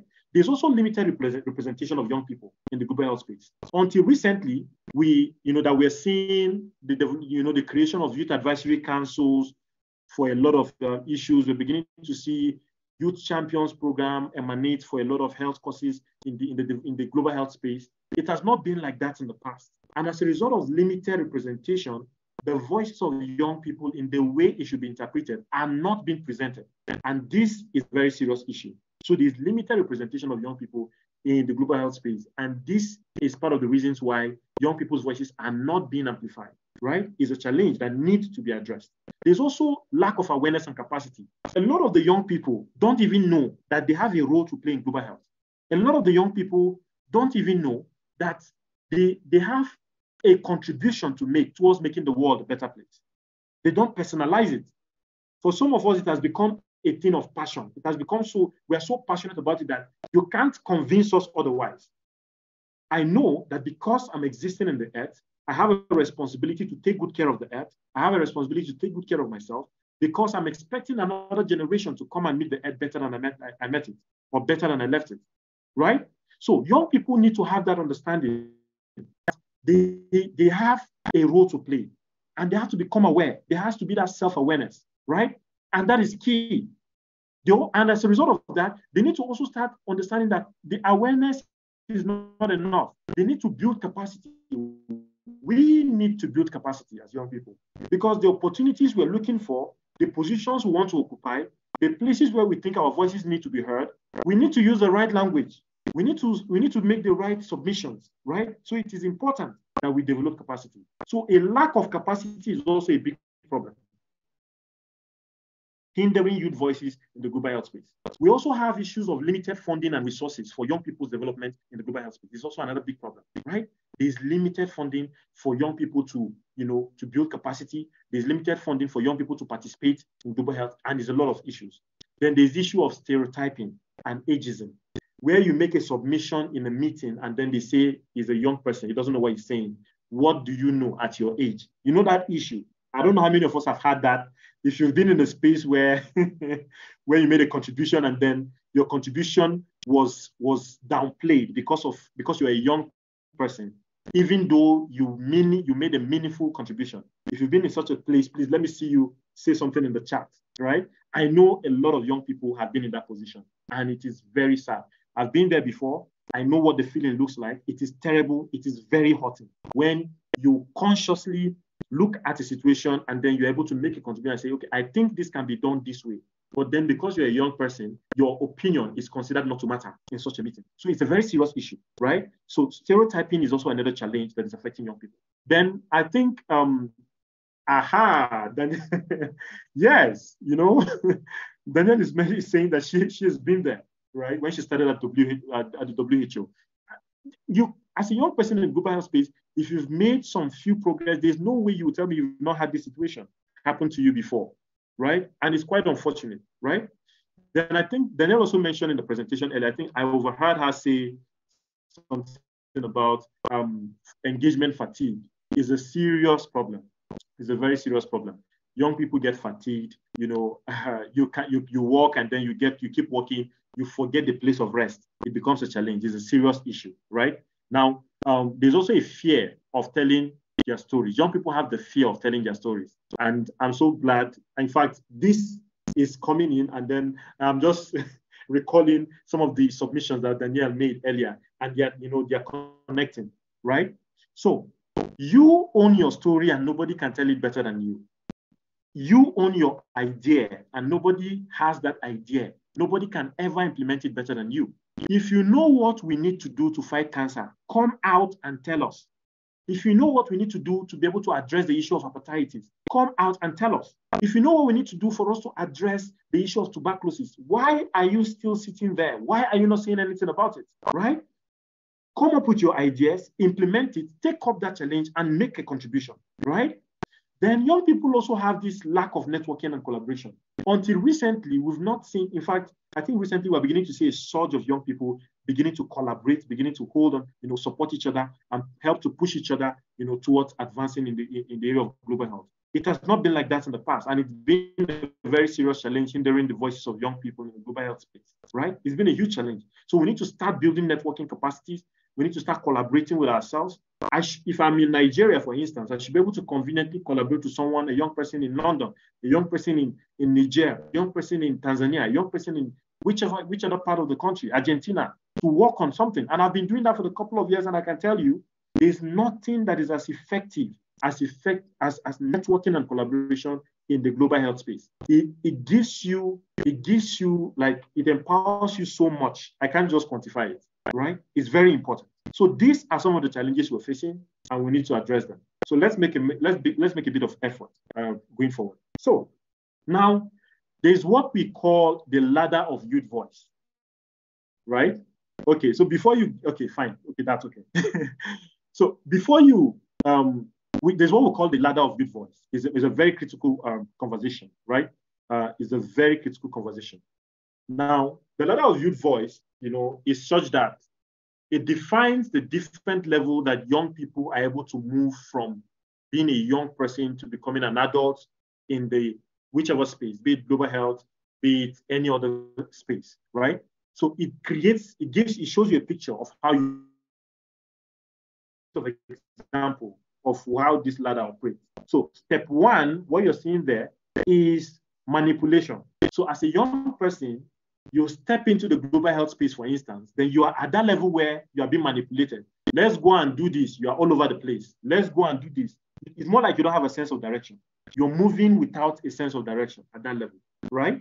Now you grow into the point of decoration where every little effort you make, they celebrate you. They say, wow, you have tried, well done. You're a young person. You are doing, ah, you are trying, you're doing, making a lot of effort, right? You're being celebrated. You're being decorated at that level. You are growing. I know while I'm explaining this, somebody is going to be picturing themselves in this in this journey, right?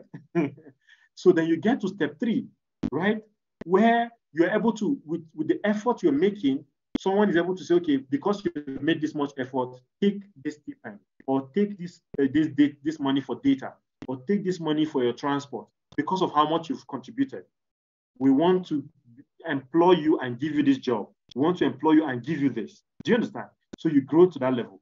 Then you move from there, and then you get to the point where you realize that, ha, as a young person, I truly have what it takes to make a contribution, and I need to be given the opportunity to truly make a contribution, right? So you're now informed of your role as a young person. You're now informed of your relevance. You're now informed of how much you can actually contribute towards the global health space, right? And then you begin to advocate for you, for, for youth voice to be consulted, right? So anytime there's any attention being drawn to any issue, you are asking, your, your, what, what you're saying at that point is, what have you made a consideration for young persons? Have you made a consideration for the youth? Have you made a consideration for what how this issue is going to affect young people? So you become an advocate, you know, advocating for youth inclusion. You become an advocate pushing for young people to do the right for for uh, for young people to be included, to make deliberate efforts. Do you understand? To be included. So you move from there you grow to the point where it's almost as if you are still a youth or you know you are in between being a youth and an adult right? Now you're creating that balance happening gradually right? We're beginning to see that happen right now on a general level. These young people are beginning to get that balance a little by little by little right? They're being included. There's a bit of youth you know there's a bit of equality happening now right? Then you get to this point where you're completely youth driven you're so passionate about youth inclusion. You are so keen. You want to keep pushing. You want to keep working. Do you understand? You get to that level. Then finally, you are at the you are the highest cadre of global health equity, right? Where you are now deliberate about like things are now happening. You are now seeing policy documents being developed with youth inclusion without anybody carrying placard to advocate for it. You are now seeing you know decisions being made without anybody necessarily you know decision being made with young people in mind without anybody coming to enforce that it must be made, right? So you get to that point. So now, looking at this ladder and then looking at some of the points here, what do we need to do in order to address some of the challenges we had highlighted previously? What do we need to do? We need to start creating platforms and spaces for youth participation. We need to start creating platforms for young people to be engaged. We need to start promoting mentorship and skill building. Like what the Global Health Mentorship Program is doing is so fantastic. Do you understand? Is a very direct form of mentorship that empowers you so much. I, I was, see, oh my goodness. I, I can't just, I just, I know, I know, I know, I am 100% sure that I have other persons who have gone through the Global Health Mentorship Program in this platform, right? So I'm not over exaggerating, but then trust me, it just shapes you so much. So we need to promote mentorship. The, the older generation need to start becoming deliberate about passing down the skills that they have to the younger generation. They need to start connecting them with the right opportunities in the global health space. That needs to start happening. We need to start investing in youth-led initiatives. YOHAN, for instance, should not be looking for grants to carry out workshops or conferences or trainings like this. Because it is YOHAN, because there are young people involved in YOHAN, because it is a youth-led initiative, there should be a funding available for this to continue for, for it to be a monthly program, for instance, right? We need to start fostering intergenerational collaboration. We need to become deliberate about learning from the, the generation that have gone ahead of us. And that generation also needs to become deliberate about investing in the lives of the young people coming to take after them, right? Then we need to start ensuring the inclusion of young people or youth, their, the, perception, the perspectives of young people in the policies that we're making, in the decision-making processes that we get involved with in the global health space. It is very important. So this needs to be done. Um, let's let's go forward and then let's look at some of the strategies. We're approaching towards the end of the session, of the session, right? Now, what are some of the strategies that we need to use or we need to do or we need to implement, right? To amplify youth voices and perspective. The first strategy there is to enhance youth participation in global health. I talked about it already, right? Now, in doing this, we need to ensure that youth representation in policy making and governance is effective. Youth representation in policy making and in governance, be it at local level, at national level, at regional level, continental or global level, it needs to be done. We need to start involving young people in program planning and implementation. They need young people need to start knowing how international conferences are planned, right? We need to know how the WHO holds the uh, WHO um, Health Assembly. We need to start knowing these things. The World Health Assembly, how is it organized? Young people need to be involved, right? We need to start learning these things, right? Then we need to promote youth-led initiatives and organizations by supporting youth-led advocacy and activism, by fostering youth-led research and innovation. Let's support young people who are into research. Create that platform for them to grow. If there are challenges they don't have, they are facing, let the older generation be there to provide a guidance, right? The global health space should not be a competition for us. It should not be a space for competition. It should not be a space for fight. It should not be a, space for quarrel, right? We should be working because the earth and the generation to come is depending on us to keep this environment safe, to keep the health system solid so that they can meet up something they can work with, right? Next slide. So, yes, we also need to strengthen youth youth, part, uh, youth partnerships and collaboration, right?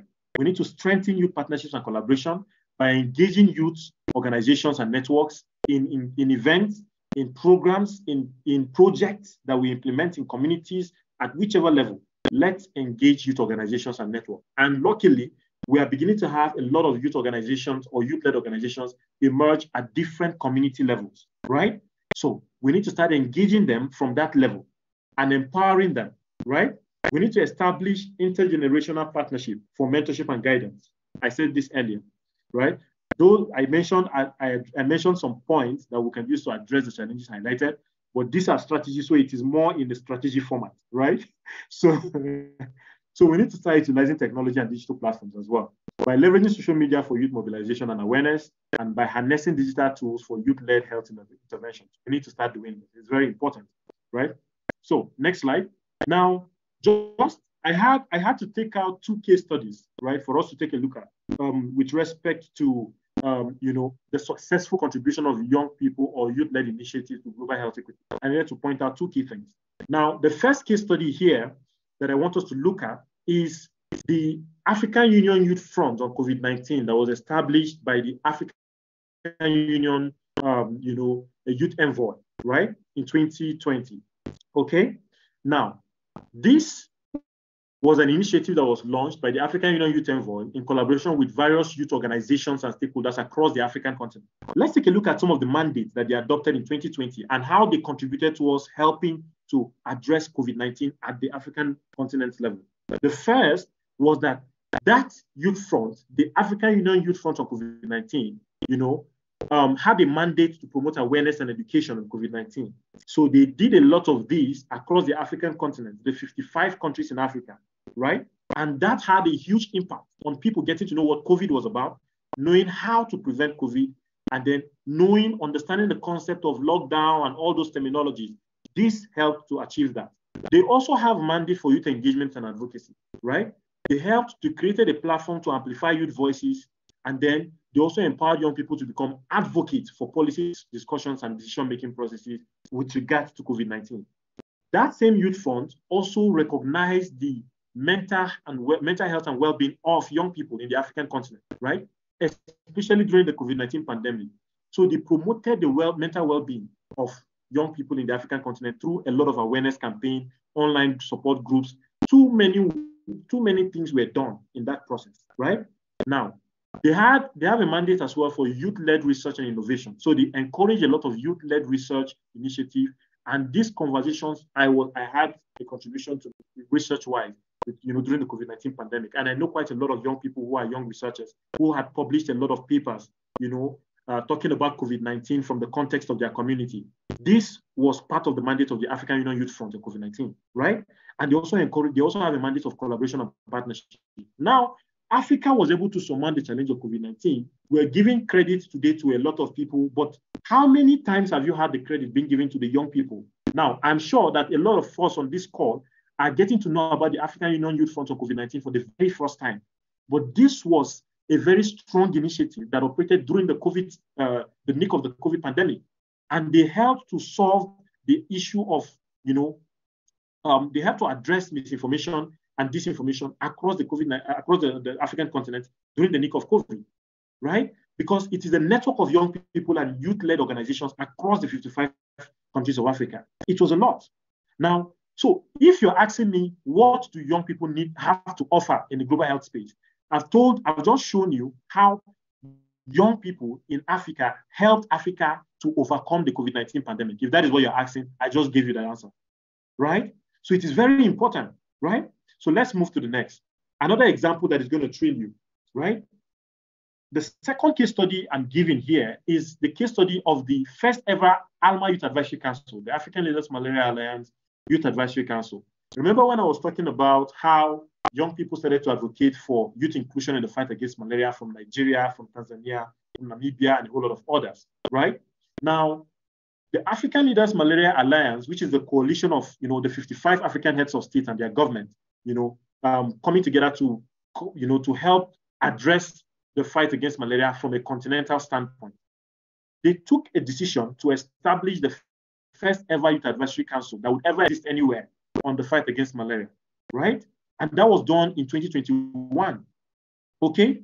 Some of the responsibilities of the Youth Advisory Council was to advise ALMA on how to ensure youth participation in advocacy for malaria at continental, regional, and national levels, to serve as malaria and universal healthcare ambassadors, to provide guidance on implementation plans for national youth armies, to participate in continental, regional, and national forums and meetings on malaria and universal health coverage, and then to produce an assessment report every two years on the effectiveness of the ALMA youth strategy, which, by the way, they also helped to develop, you know, and then they also help, they, they, they provide this assessment report, which covers the effectiveness of the strategy, the implementation, and then they also make recommendation on the improvement of the strategy. It will interest you to know that through the work of the Youth Advisory Council, for instance, you know, across the African continent, we've been able to establish like 48 national malaria armies across 48 countries within the space of two years, right? So if you're asking me how much can young people contribute to the global health space, I'm showing you how a team of 11 young people who formed the ALMA Youth Advisory Council through the support of ALMA, through the coordination of ALMA itself, have been able to establish 48 national youth armies across 48 countries in Africa. How they've been able to mobilize close to about 5,000 young people to become passionate about malaria. And then these young people are beginning to take actions and create innovative solutions to help address malaria across the African continent. So these young people have created hope now we believe that malaria can be eliminated in Africa. Now we believe, believe that zero malaria is truly achievable in Africa because we are beginning to see more hands on them, right? So this is another example of a successful youth-led initiative for global health equity in the African continent, okay? So let's move a little, coming towards the end of this session, okay? Good. Sometime, um, sometime in 2022, the African Union, right, through the African Union, um, the, the, African Union um, Youth Commission, right, was able to establish the first ever African Union Malaria Conversation Guide for youth in Africa.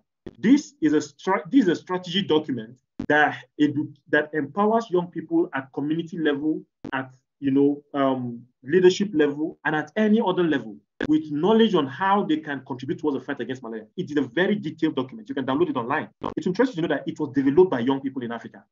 This document, right, is a policy document and it was developed by young people in Africa. The first ever conversation guide is a very powerful document. So young people have made contribution even at this level. Okay, let's move to the next slide. I think what I have here mostly are examples here and there, right? This was also a very, a, a, a, um, I don't know, quite a number of us probably have an idea about the Kigali Malaria Summit that held in Rwanda last year in 2022, right? That held immediately after the Commonwealth Head of Government meeting in, in Rwanda. This is a crop of young people, all passionate about malaria, all contribute towards the fight against malaria at different level across the Commonwealth, right? They represent different countries across the Commonwealth, and they're here. They were right there on the podium in front of the entire world advocating for zero malaria, advocating for increased commitment to the seventh replenishment of the Global Fund, advocating for increased investment for malaria elimination, advocating for increased investment for, you know, for NTD, NTDs elimination, right? So this was a team of young people. Before these young people, you have the likes of the of the WHO, you have President Paul Kagame, you have quite a number of you know presidents seated here, you have quite a lot of people here, right? So if you're asking me what young people have to say in the global health space and why their voices need to be amplified, I'm just carefully taking you through quality examples that you should come to realize that the people doing these things are not two-headed, right? they are young people, and you can see from their faces, you can see from the picture, they are young people. Their pictures have to be here, right? Let's move to the next slide. You know, I'm glad that quite a number of the organizations at the international level are beginning to make changes in their programming. They're beginning to become deliberate about young people inclusion in the fight against, you know, malaria, in the fight against tuberculosis, in the fight against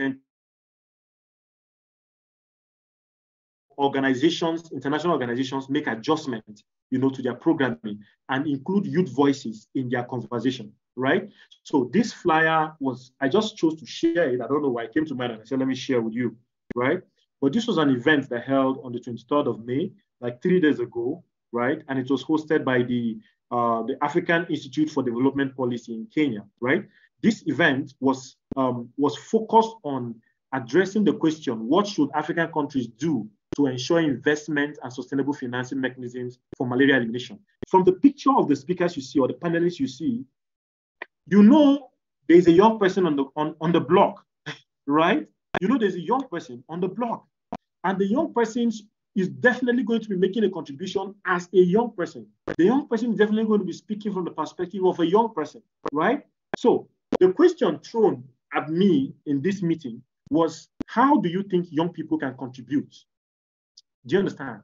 Towards advocacy efforts and then towards a sustainable, towards developing a sustainable financing mechanism for malaria elimination in Africa, right? And I gave a quality response, which I want to believe represented the responses of all the young um, malaria advocates across the African continent, right? So that was important, right? So let's move to the next slide. Another example of, you know, another situation where there was deliberate consideration of young people in a platform. This has not been in the past we're seeing this things happen like maybe like two years ago to now. In fact, it's beginning to get more effective every day because our voices are rising. Do you understand? If you look at this flyer, this was a tweet chat that was held by um, Malaria Consortium just yesterday from 9 a.m. in the morning Nigerian time to about 5 p.m., right? I think 8 p.m. to like 4 p.m., right? Now, if you look at the flyer, you see young people there. Myself and Crystal, uh, Crystal Burungi, you know, in the fight against malaria, the two of us young people were featured on this tweet chat, the Twitter chat, alongside with some of these other highly placed professionals in the space, right? And we also spoke and made contributions as young people, speaking on behalf of the voices of a lot of young people across the continent, right? So it's a very huge platform that we need to keep advocating that it's not enough to tell us to carry placards and be going around the street, and we are going to do that. But while we are doing that, when you go to make the decisions, when you go to make the policies, can you have us there so that we can tell you how our generation feel about this issue, about this policy, about these changes? It has to be deliberate, okay? It has to be deliberate. right? So let's move to the next slide. We're coming towards the end of the session. This is the last point that will be given uh, for this session. I think I've we've talked a lot and we've spent so much time already. What is the call to action? What are the call to actions that I'm giving? I know we have individuals here who are representing international organizations or local organizations. We have people who are members of one political party or the other. We have people who are members of one agency or the other. Welcome to the call. I have a call to action to you and the youth. the youth, the young people in global health have sent me to you. And here I am trying to give you the message. Okay? So, for us to have an increased youth engagement in the global health initiative or in the global health platform or in the global health space, we need to do 10 key things that I've highlighted. 10 key things. First, we need to recognize the value of young people. We need to stop seeing young people as a generation of people that don't know what they're saying. Mm-mm. Because they are educated, they are passionate, they are creative, they are innovative, and they need to be listened to. The global health policies, the global health principles have given them a right to be listened to, right? The policy around human rights, right, has given them a right also to be listened to. So who are you to say no to them? Value them. Value young people, right? Recognize them and value them is key. Ensure their representation in meetings. Ensure their representation in decision-making processes. Ensure their representation in policy uh, processes, policy development, right? Ensure their, their representation. Foster mentorship and skill development. Foster mentorship and capacity development. Be deliberate about empowering the young people you work with. Be deliberate about it. Be conscious about mentoring the young people you work with. I can't tell you the number of young people I mentor. I've mentored. I'm still mentoring. As a young person, I don't mind. As I navigate one space or the other, I want to help 10 other young persons cross through that gap as well. That should be the mindset of every young person on this call today. That should be the mindset of every other person on the call. Thank you so much, Daniel. Yes, peer-to-peer mentoring is very key, very, very critical, right? We need to start doing that. So while we're hoping that the generation before us are going to mentor us as young people coming up. We also expect that some of us who have made giant strides, who have made some bit of progress and have, you know, begin to have a footing in the global health space, they need to also start carrying other young people along. Those who are still at the level of advocate, carry them along. Those who are still making efforts, who are enthusiasts, carry them along. We need to start allocating resources for youth-led initiatives. We don't need to be in that situation where we want to roll out a youth program and you say, no, you know, it is not as important as this. No, youth-led initiatives are as important as any other initiative in the global health space. We need to start allocating resources for youth-led initiatives. We need to start promoting youth-led research. We need to encourage young people to start carrying out research because their brains are fire. Their brains are, you need to read some of the research papers that young people are publishing these days. Go and read from the Lancet. Go and read, my goodness, it's amazing how much local data can be generated if young people, you know, invest in research at local level, right? We need to start enhancing technology and innovation. It is very important. We need to start establishing youth advisory boards. It is very important. Let us have, if you can't have young people in the administration or in the administrative level of an organization, create a youth advisory board that you can always go back to to get the perspective of young people and add to your policies and add to your programming. It's very important. We need to start promoting health education and advocacy. It is key. We need to encourage partnership and collaboration. We need to support youth health champions as much as possible. Once young people become passionate about stuff, let's empower them, let's support them, let's encourage them, let's create opportunities for them to travel, let's create opportunities for them to network with other colleagues in other countries. Let's do these things. It is very important. It is very, very important. It is very, very important, right? So um, I think this is where I'm going to be drawing the curtain. Please push on to the next slide. Thank you so much, you know, YOHAN, for having me this evening. Thank you so much. Thank you so much. Thank you so much. It's a pleasure for me to be here, and I'm glad to have spent this much time. I have my social media handles displayed on the screen my Twitter handle, my Instagram handle, my LinkedIn, my email address if you want to send me an email is going to be there for a couple of seconds feel free to connect with me, send me requests. I accept and I follow back as much as I do as I can, right? So let's connect. If this session has been interesting for you, let me know in the chat box. Let me know because I can't see my screen. Let me know what you're learning. Let me know if this is making sense to you. If this has helped you, if this has changed or shifted your mindset, I would really love to know, right? I would really love to know. Thank you so much. And it's a pleasure to be here. Okay. I'll look forward to your questions. I think some are already in the chat, but then I will allow the moderator to lead that. Thank you so much. Over to you, Ruth. Okay, so thank you so much, Ambassador Kingsley. So, ladies and gentlemen, please, if you have any questions so far, kindly type them in the comment section so we can ask Ambassador Kingsley. Our time is fast spent now, so please let's be quick about it. So, as we wait for it, I have one question here from Tai. He said, Ambassador Kingsley, as a youth, if you can tell us how we can pass all our challenges from the local to the global level. Fantastic. That's that's a very beautiful question. Um, in fact, I'm going to tell you right away, right? You know, like I shared an instance how we started advocating for youth inclusion in the fight against malaria. I, you know, the work we're doing at Block Malaria Africa Initiative was at local level, at community level. It was just myself and a team of over 500 young people that were able to mobilize to carry out this um, advocacy effort and then to carry out this, um, you know, work at community level.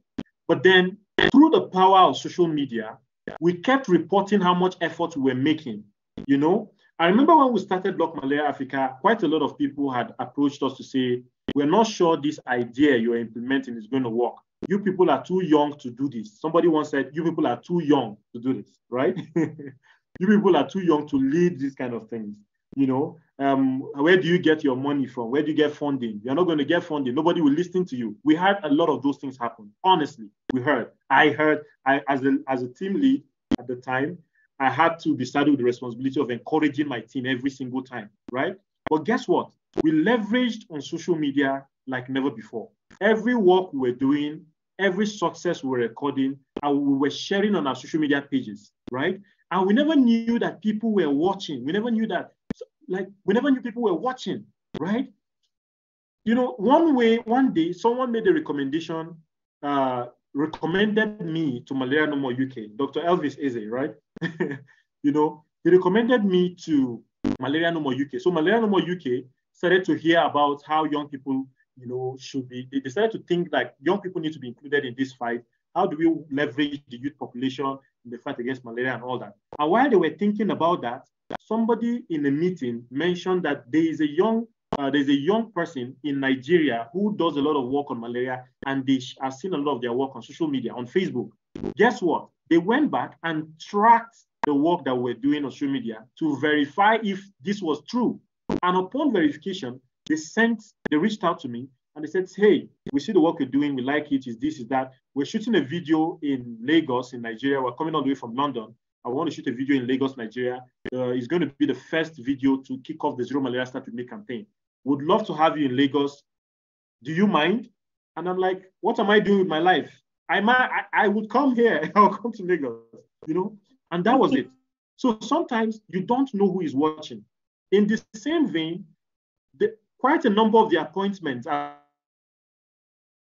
received, you know, maybe like being appointed to the Youth Advisory Council, for instance, or being appointed to the um, RBM Digital Youth Work Stream. I have no idea about how that appointment happened. I didn't apply for anything. I just saw an email in my inbox. Dear Odinaka, on behalf of His Excellency President Uhuru Kenyatta, I bring you greetings. This, that, this, that, this, that. Would love to have you in the first ever advisory council that Alma is setting up. Is about this, this, and that. Are you interested? Kindly reply this email if you are. And you're wondering, where do they know me from? Right? How did they hear about me? Social media. So as a young person, you have the capacity to utilize technology. I, I talked a lot about this, right? So utilize technology, utilize your network. There are opportunities around you, but then you don't know about it because you don't belong to a network of young people who are advancing the same course as you, right? We have what we call the global malaria community, where everything that happens about malaria is shared in that community.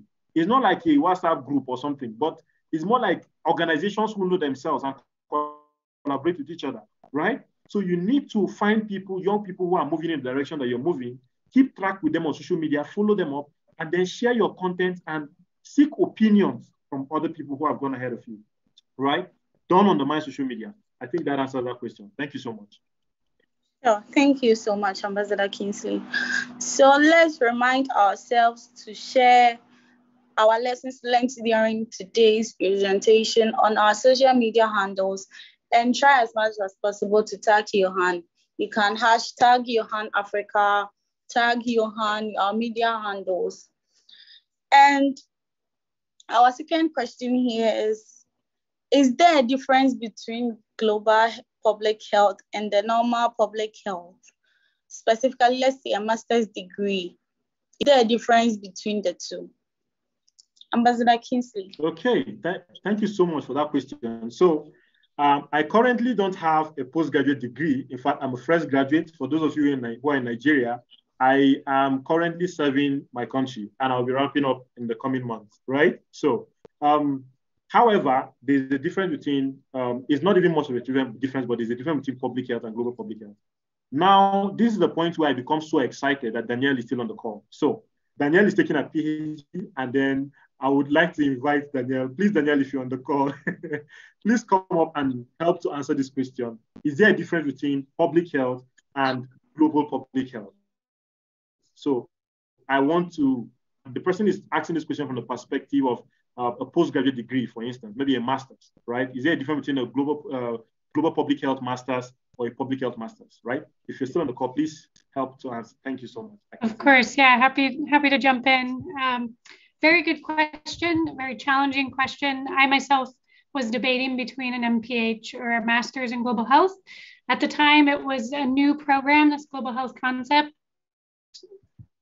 the way I understand the difference is that public health is very boundaries based, like in the sense of your national context. So you learn maybe more at the local level and how you actually engage and deal with um, your current systems that you work in. So, for example, if I did an MPH in the United States, a lot of it would be focused on the way the systems are in the United States in the Masters of Global Health, it's really starting to understand that cross um, international learning, knowledge exchange, how these diseases transcend boundaries. So, for example, communicable diseases, we saw with COVID, how people respond and engage with something like that, like at the pandemic level, is more of like a global health competency.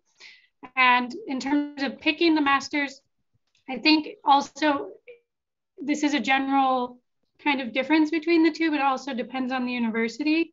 So you should very much look at specifically what kind of competencies they're wanting you to build. Um, so for example, my mine was at the Global Health Program in Copenhagen, and I could answer any specific questions about that. And there you can even do a focus on um, dealing with disaster management, or you could focus on what I did, which was health system design, for example. Uh, so it's that's built in considering the transnational aspect, I think, in global health. Yeah, hopefully that helps. Thank you so much, Danielle. Thank you. Thank you so much. That was helpful. Yeah. So, um, okay. Okay, thank you so much, Ambassador Kingsley, Dr. Daniel. Thank you so much. I would like to give a few shout out to people here. Adina Zainab, I see you. Thank you for being active. Bartholomew Tanko, can you please, you guys, give us a few, in few lines, what you guys have learned so far? Bartholomew Tanko, you can talk. Adiniki Zainab, you can talk. Herbert, you can talk. Ifunanya, you can talk. Maureen, you can talk. We are we, we are fast spent with time, so please if you would like to talk, please unmute yourself and share with us in few sentences what you have learned so far from our wonderful speakers.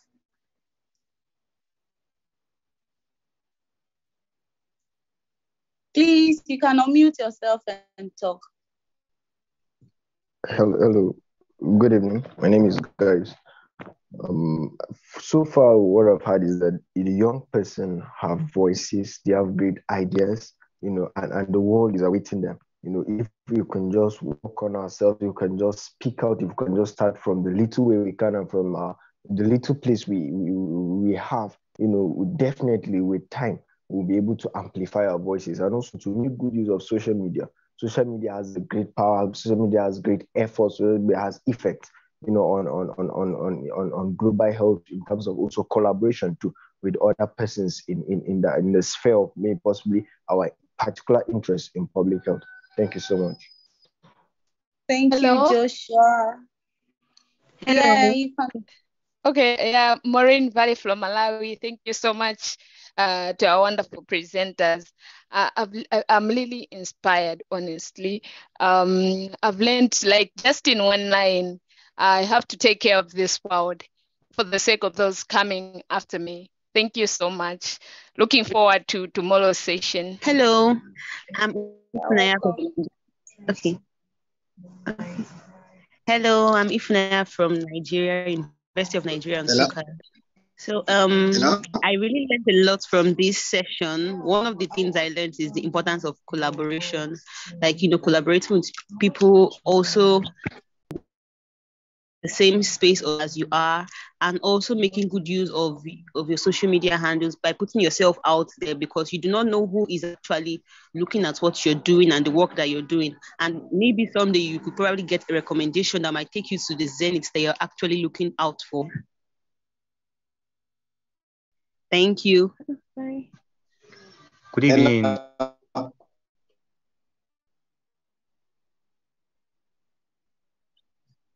Good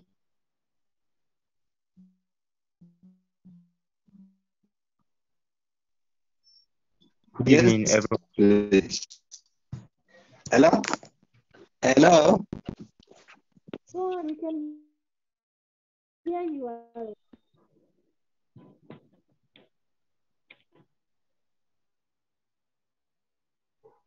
Hello. Hello. Good evening. You can you hear me? You can can hear you. Talk, yeah, thank thank you very much for the program. Uh, I'm Akaka from Uganda, and I have enjoyed the program, and I think we have to collaborate. Because, for example, I've seen the issue of malaria with the ambassador, and you know Uganda is endemic. And as I talk now, there is there, there is a lot of cases of malaria under five. So with this, I think it is good for us to collaborate and see how best we can handle. Because I'm a uh, graduate from Makerere with a Bachelor of Environmental Science. So these are the areas of specialty. I empower community to improve their health. So thank you very much for the, our presenters, all, everybody who has been on. Thank you. I've enjoyed a lot. And we are only waiting for the presentation on our, our email. Thank you very much. Hello, good evening. Hello. Yes. Yes, this is um, Bukumi Badiola, a graduate of Ladoke Akintola University of Technology and um, a current um, intern um, from Oyo State Hospital Management Board. All right, I must confess that YOHAN Africa is doing so great, is doing a great job. And um, I've learned a lot this evening from the section of Dr. Daniela, Dr. Daniel, of teaching us about the uh, importance of the, the good aspect of failure, how you can turn failure to success.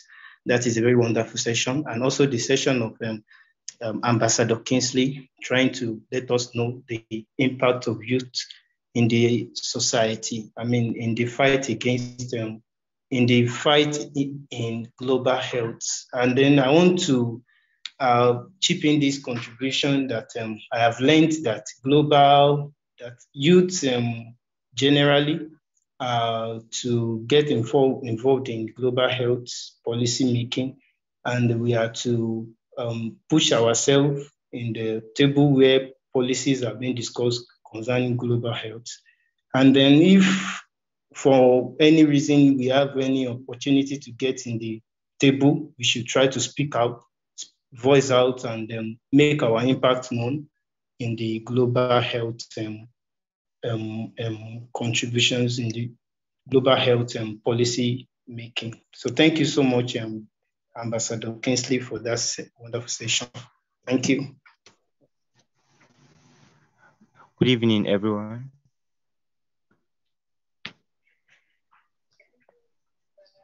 Evening. Okay, right, my name is Bartolome Tanko. One more question, and then we'll conclude. Go ahead. Right, my name is Tanko from Kaduna State University, Nigeria. I'm so sorry, my network has been fluctuating um, pure now, but I want to actually acknowledge the effort facilitators and thought person over here. And what I've actually learned from the presentation is that our youth are so important in the growth of every nation. And um, if youth are being included in the activity that takes place uh, in the society or in their world, they tend to shape you through the influence or utilize the knowledge of technology and aspects like actually accumulated before now. And so via the use of social media, we could actually harness uh, the, the, we can actually harness the resources or should I say the, the opportunity is great. So I've actually learned that wherever we are, we have to be committed as young persons we have to give in our best to make the world a better society for each and every one of us. And so I've, I've actually learned that what um, we we should take uh, people as they are, and we shouldn't we should show equity and amongst ourselves, and also to love us um, uh, more reliable and a conducive environment for each and every one of us. So this but um, there's no limit to what we can do as young persons. So whenever we find wherever we find ourselves, we try to do or to shape the society and the world around us. So I'm actually grateful for this section. I anticipate and wait for more of this. So kudos to all our uh, resource person this evening. I salute you for your effort. Thank you very much. Thank you so much, everybody. I've to the end of um, today's session. I would like to extend our sincere gratitude to Okay, good evening, everyone. Um, evening. My name is me. My name is Benedict Nelson from the University of Nigeria, Enugu, Nigeria. I must say I'm deeply impressed with the resource persons that spoke to us, starting from Dr. Daniel um, our presentation was explicit and straight to the point, and I really learned a lot. Coupled with those quotations of some people that really motivated me, I I can say that the time I spent here has not been in vain, and all those that were not around me actually missed a lot. So at the end of her presentation, I was able to get motivated as a youth on ways I can seek opportunities and continue to push forward in, uh, when it comes to health as a whole. And then the second resource person, which is a youth like me, Ambassador Odinaka, also shed more light on who a youth is. I think that aspect actually got me well. For I've been wondering for some time who actually a youth is and at what age can someone be adequately qualified as a youth. And then he also um, mentioned on the ladder of youth voice. This place also got me wondering, and it shows the, the little ways that someone can start off as a youth. And then he knows it, with constant effort and determination, you see that person at the top.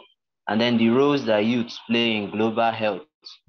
I've never thought of these things before. When I see young ones like him pulling giant strides out there, I also feel motivated and I'm determined to also start letting my own voice to be heard. And as youths, when we collaborate together, we can actually improve the health equity status, not only in Nigeria, which is our home region, but also in Africa in general. Thank you very much, and I really benefited from the program.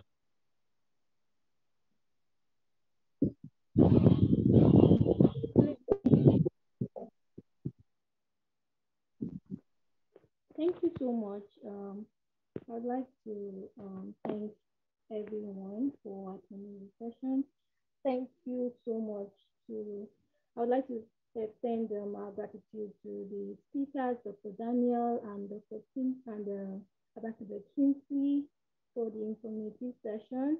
And thank you to, thank you all, everybody for your active participation. We sincerely apologize for exceeding the closing time, um, but I'm grateful that everybody learned um, quite a lot from today's presentation. So um, the session will continue tomorrow. It's going to happen in the same, um, we're going to still use the same platform, Zoom, the same link, and it will start by 5 um, 4.45 p.m. West African time. And hopefully it will not exceed, we will, try to be um, time conscious. Thank you once again, and um, good night.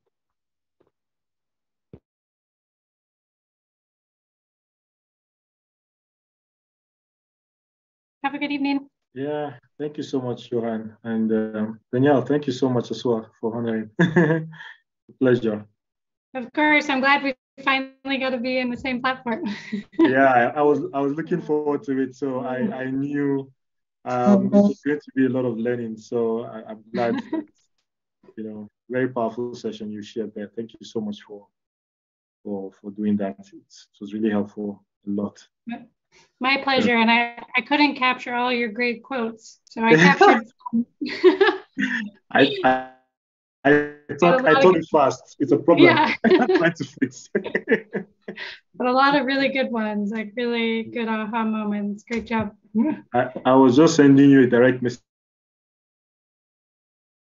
about your class in October. Oh, okay. Ah, yes. Oh, yes. Yeah, I never sent you the outcomes yeah, yeah. of that. I'm sorry I couldn't get you engaged. Queen's University is pretty bad with like coordinating ahead, so I didn't even get the okay. link until like the day before. Um, but I could send you the new slides. Okay. And happy to talk to you. Yeah, it, it's the last time I think they'll do it this year. It used to be specific to the medical students, but they're changing the structure of their program. So they said they're not going to do this seminar anymore yeah. for the medical students. I don't know if it's just going to be for public health next time, but yeah, it's uh, three years so far. okay, that, that's fine anyway. I'll keep tabs with you to follow up on that. Okay, perfect. Thank you so much for the presentation. It was actually a wonderful presentation and I gained a lot of things. So talking about my role as a youth in global health, most especially when we talk about the awareness, I gained insight into it. And also during Dr. Daniel explanation about during the question rather the question and answer sections. So i actually gained a lot of things and it was a wonderful presentation indeed. Thank you sir. Thank you so